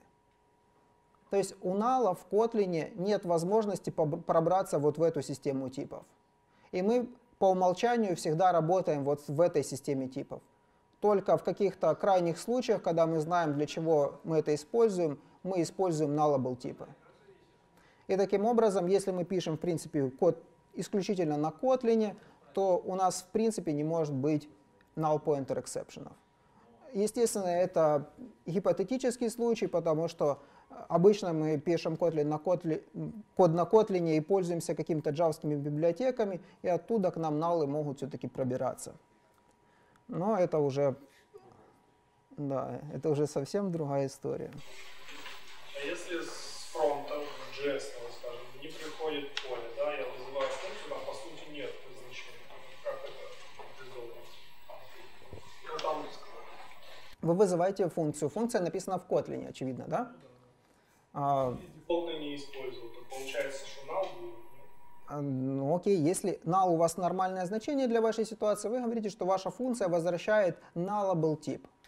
Например, она должна вам вернуть ваш car. И вы говорите, что функция возвращает car со знаком вопроса. Все. И вы знаете, что эта функция может вернуть null. И Kotlin, вот мы сейчас посмотрим, Kotlin будет заставлять вас проверять, он будет вам показывать, что аккуратно, здесь может быть null. Тут ты не можешь вот так вот взять эту операцию легко выполнить. Проверь на null. Сейчас, сейчас мы на это посмотрим. Смотрите, я объявляю переменную, которая называется justString. Соответственно, в ней не может быть null. Если я попытаюсь в нее как-то присвоить null, я получу ошибку компиляции. Но если я объявлю переменную, я ее назвал maybe string, то есть там может быть string, а может быть и нет стринга, то есть может быть там null. Вот в такую переменную, со знаком, у которой тип string со знаком вопроса, я могу присвоить null. То есть, по сути, вот это, это аналог джавовского стринга. И здесь тоже, смотрите, Kotlin идет по пути правильных дефолтов. Kotlin толкает нас в сторону, используй string, не надо писать знак вопроса, это лишний символ. Используй правильный тип. Но если ты хочешь, конечно, nullable, ну, приложи какие-то усилия дополнительные, напиши знак вопроса. И, естественно, мы этого не делаем и пользуемся всегда по умолчанию не nullable типами.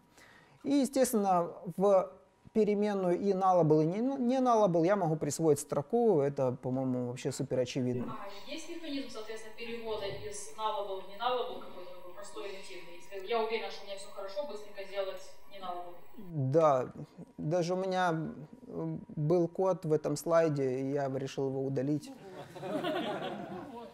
А, да, ну, в общем, да, есть, если вот вы на 100% уверены, что в этой переменной нет нала в данный момент, ну вот, например, у меня есть переменная maybe string, она типа string со знаком вопроса, но я ей присвоил строку. Я знаю, что вот здесь, вот, вот здесь, в maybe string точно не null.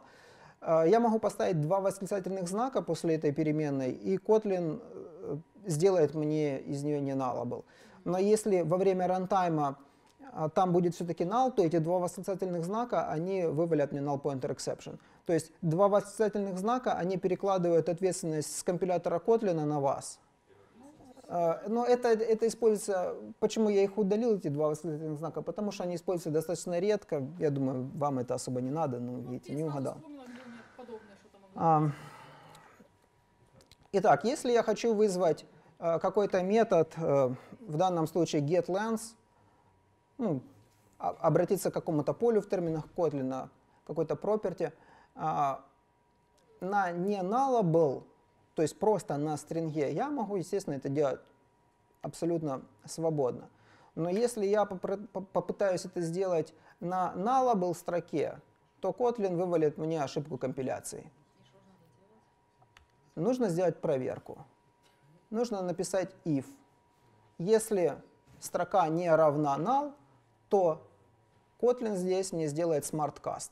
Он мне прикастует ее к не nullable стрингу. И теперь я смогу свободно вызвать эм, метод на этом объекте. Оно есть. Есть. Все в Kotlin есть, кроме тернарного оператора.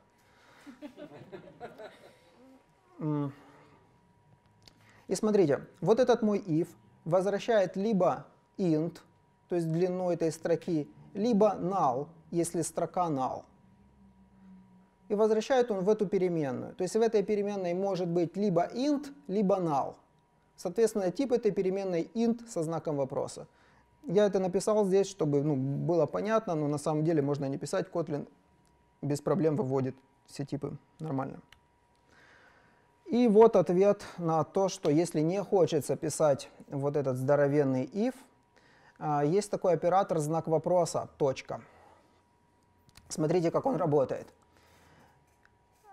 Я вызываю на maybe стринге метод length, но через знак вопроса. Если этот maybe string null, то знак вопроса вот этот, он вернет в эту переменную сразу null он даже не разрешит вызвать вот этот метод lens. Он сразу вернет null. То есть это аналог тернарного оператора, только лучше. Лично. Да.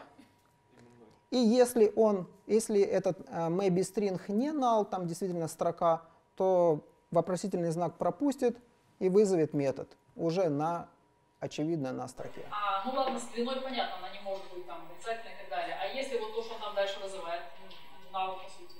То же самое, то есть идет все по цепочке. Там тоже, если, например, lens был бы null, и мы захотели на нем что-то вызвать, Kotlin бы опять сказал, нельзя так делать. Сделай проверку, либо if, либо вот такой вопросительный знак точка. И все, все будет работать точно так по цепочке. Это супер удобно. Есть э, ли альтернатива такой штуке, как or else в optional? А, да. Э, ну, в принципе, смотрите, у нас... Да, у меня есть... э, Я хотел как раз об этом рассказывать. Смотрите, мы уже вышли из нашего времени. Я не хочу никого на самом деле задерживать, э, поэтому если кому-то надо, можете... А?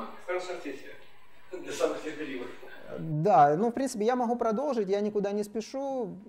Организаторы, Пока не выгоняют, я их не вижу. да.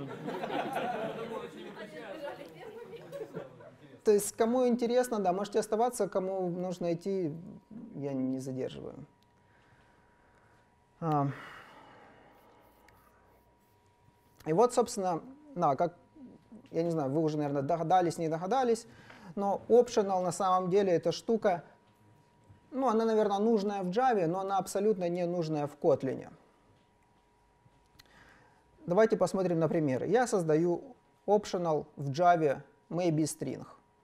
То есть по названию понятно, что это полная аналогия, как в Kotlin. Там может быть строка, а может быть пусто. Полная аналогия в Kotlin это просто nullable string.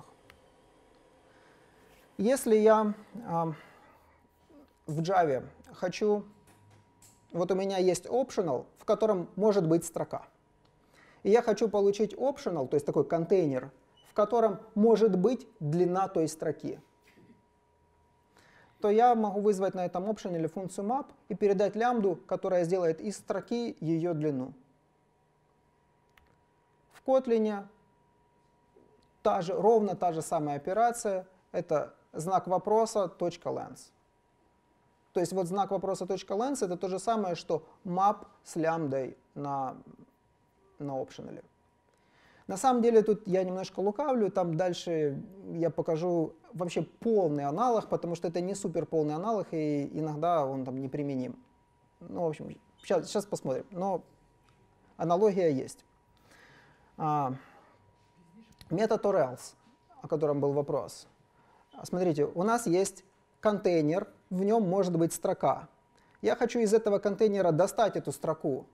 Ну а в этом же контейнере может быть и пусто, правильно? Так вот, я хочу достать эту строку, если она там есть, а если ее там нет, то я хочу какое-то значение по умолчанию. И в Java я могу написать or else и передать пустую строку. Таким образом, у меня тип вот этой переменной будет строка, ну, не nullable, то есть она гарантированно не пустая. Ну, ну, она либо пустая, либо та, которая была в самом optional. Да, но не null.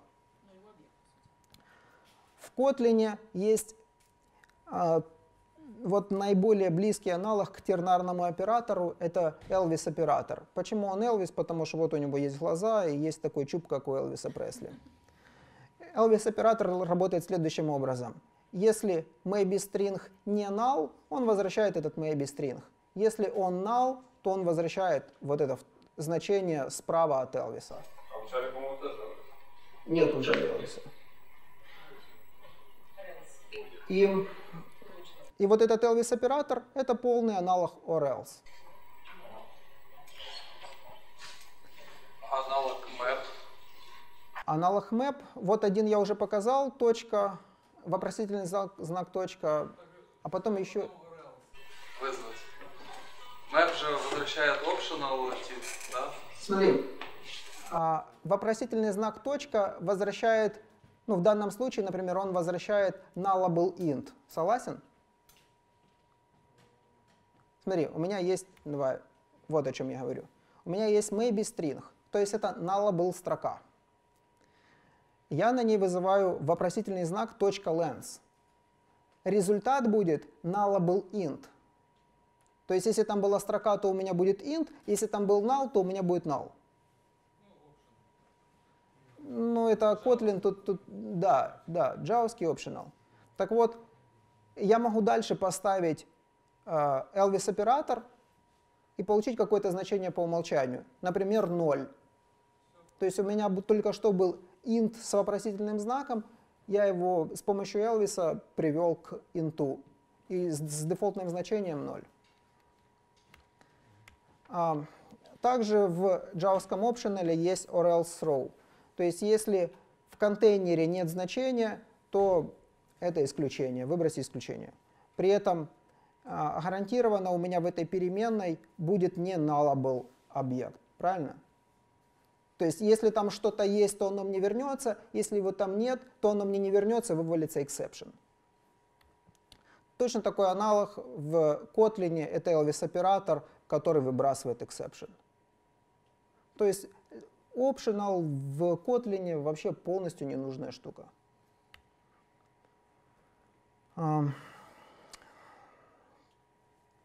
Дальше. Тут примерчики посложнее, но не менее интересные. Смотрите, у меня есть optional, внутри которого слово hello. Я хочу получить optional, внутри которого слово hello world.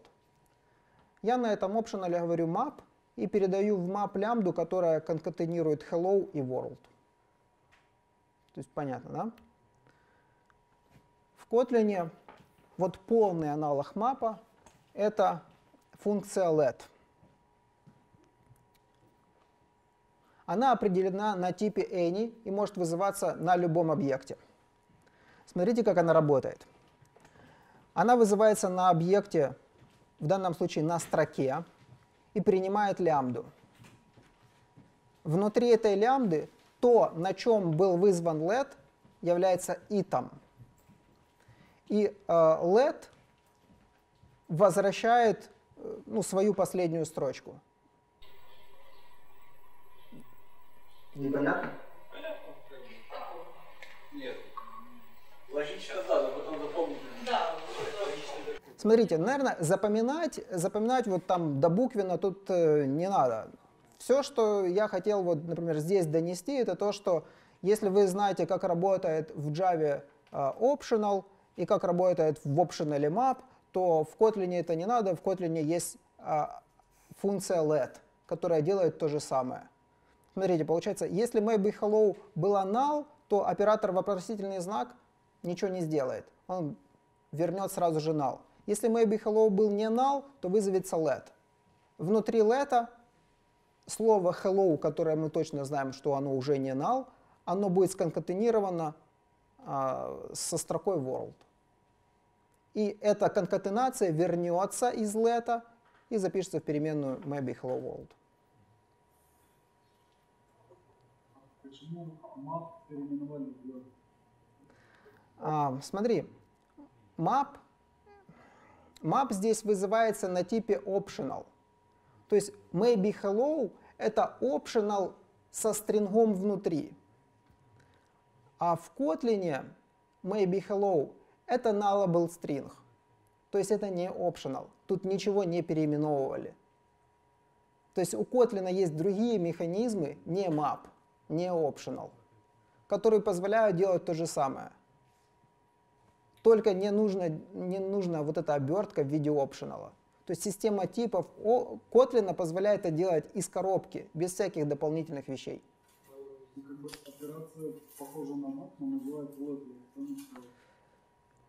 Да, операция похожа на map, но называется LED. Потому что, потому что если бы ее назвать, например, map, то было бы пересечение с мапом, а, которое есть у листа. У листа тоже есть функция map, которую мы сегодня видели. То как бы мы отличали вот этот мап от того мапа?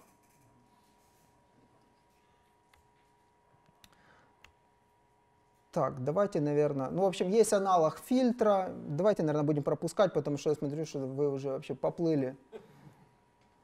Или кто-то еще держится? Дети все, да? Мы все ускоримся, только Да, о, отлично, уже почти последний слайд. На самом деле это не слайд, это э, HTML отрендеренная. А, это, в принципе, все, на что я способен в HTML. И вот этот, и вот этот код. Код на HTML. А вот код на Kotlin. Если мы посмотрим, то он строка в строку соответствует HTML один в один. Но в отличие от HTML, HTML это просто текст. Соответственно, вы там можете допускать какие угодно ошибки, что угодно делать, никто вас не поправит. Kotlin — это код статически типизированного языка. Если вы здесь допустите какую-то логическую ошибку, Kotlin сразу вам об этом скажет. Например, э, ну, все, что я могу осознать про HTML, например, э, элемент li — это, это вот эта вот пимпочка. А, она может быть, этот элемент может быть объявлен, объявлен только внутри ul. Он, как он расшифровывается? Li — это list item, а ul — unsigned. Ну, в общем, да. Да, получается, вот этот li можно написать только внутри ула. В HTML вас ничего не ограничивает, да, написать этот li где угодно. В Kotlin вы не можете написать этот элемент вне ула. То есть Kotlin дает вам уверенность какую-то. И давайте разберем ну, что-то для примера, что вообще здесь написано. Ну, понятно, что, например, там charset равно UTF-8, ну, это присвоение, ну, окей, тут все понятно. Давайте разберемся, что такое, например, мета. Мет, мета, опять же, кажется, что это вот какой-то язык прям. Совершенно верно. Мета — это функция, которая своим единственным параметром принимает лямбду. Вот она, эта лямбда. Эта лямбда вызывается внутри функции мета на таком объекте, у которого есть поле charset. И мы к этому полю charset внутри этой лямбды можем обращаться через this. То есть вот то, что я вам объяснял, вот оно вытекает все в этот DSL. И здесь это вот такая квинтэссенция вот всего того, что я рассказывал. Если мы посмотрим на head, это функция, которая принимает вот эту вот лямбду. И внутри head вызывается на таком объекте у которого есть две функции – мета и title. Понятно? То есть... Видимо, int плюс... э, Что? Вот это плюс. Э, Смотрите, тут э, проблема в следующем. А, Если здесь написать просто строку, Он будет э, если написать тут просто строку без всяких функций, без всяких плюсов, то это будет просто как неиспользуемый код. А, Например, ну, в данном случае не очень хорошо видно, когда эта строка, она является последней строкой лямбды, она могла бы быть возвращаемой строкой. Но когда лямбда на несколько строк, то ну, все строки в лямбде были бы неиспользуемым кодом. Поэтому их нужно передать в какую-то функцию. И они сделали так, что э, Получается, title вызывает эту лямбду на таком объекте, у которого есть функция плюс. Унар, унарный плюс. М? Ну, да, можно сказать костыль. Да. И получается, вот этот плюс добавляет эту строку ну, к какому-то объекту, который потом отрендерится вот в такой вот title. А, Понятно, что понять вот этот DSL и начать писать свои DSL, это достаточно сложно, да и не нужно, я бы вам вообще это не рекомендовал. Но в целом понимать, что происходит, ну, я думаю, сейчас у вас есть хотя бы какие-то общие представления. А, это, в принципе, все. Что осталось за кадром, за что я не рассказал, это операторы. Ну, там, в принципе, там пару строк прочитаете, поймете, как ими пользоваться. Дженерики, дженерики немножко другие. В Kotlin реализованы лучше. А, опять же, я их не рассказывал, потому что тема крайне сложная для понимания и крайне редко используемая а, в плане того, что ну, вы редко пишете свой код какой-то с дженериками. А, потом есть inline-функции, там тоже про них особо рассказывать нечего, это практически как и операторы, там ну, функция инлайнится, да, да и все на том. Но с inline-функциями связана еще такая штука, как reified дженерики. То есть э, в Java, в JVM во время рантайма дженериков нет. И это большая проблема. Они были добавлены там, в пятой версии Java, и, ну, в общем, вот дженерики в Java это костыль, в отличие от плюса в DSL. Вот, а reified дженерики — это попытка улучшить э, дженерики Java, чтобы они, были дост... чтобы они были доступны как бы в рантайме, но они по-прежнему недоступны в рантайме. И это достигается с помощью inline-функций. Вот, вот это супер интересная тема. А, и, то есть, если вы интересуетесь, я вот прям рекомендую. И есть еще такая достаточно тоже сложная тема, но очень перспективная, это карутины. Это многопоточное программирование, которое не выглядит адово, оно выглядит нормально, и которое можно вот читать, понимать и достаточно безопасно программировать. Когда следующая сессия? На этом все. Я не знаю, не знаю. Я честно говорю, что я потратил на, на подготовку этой лекции, наверное, месяц. Я пока что не готов потратить еще один. Ну, отлично тогда. Спасибо огромное. Спасибо.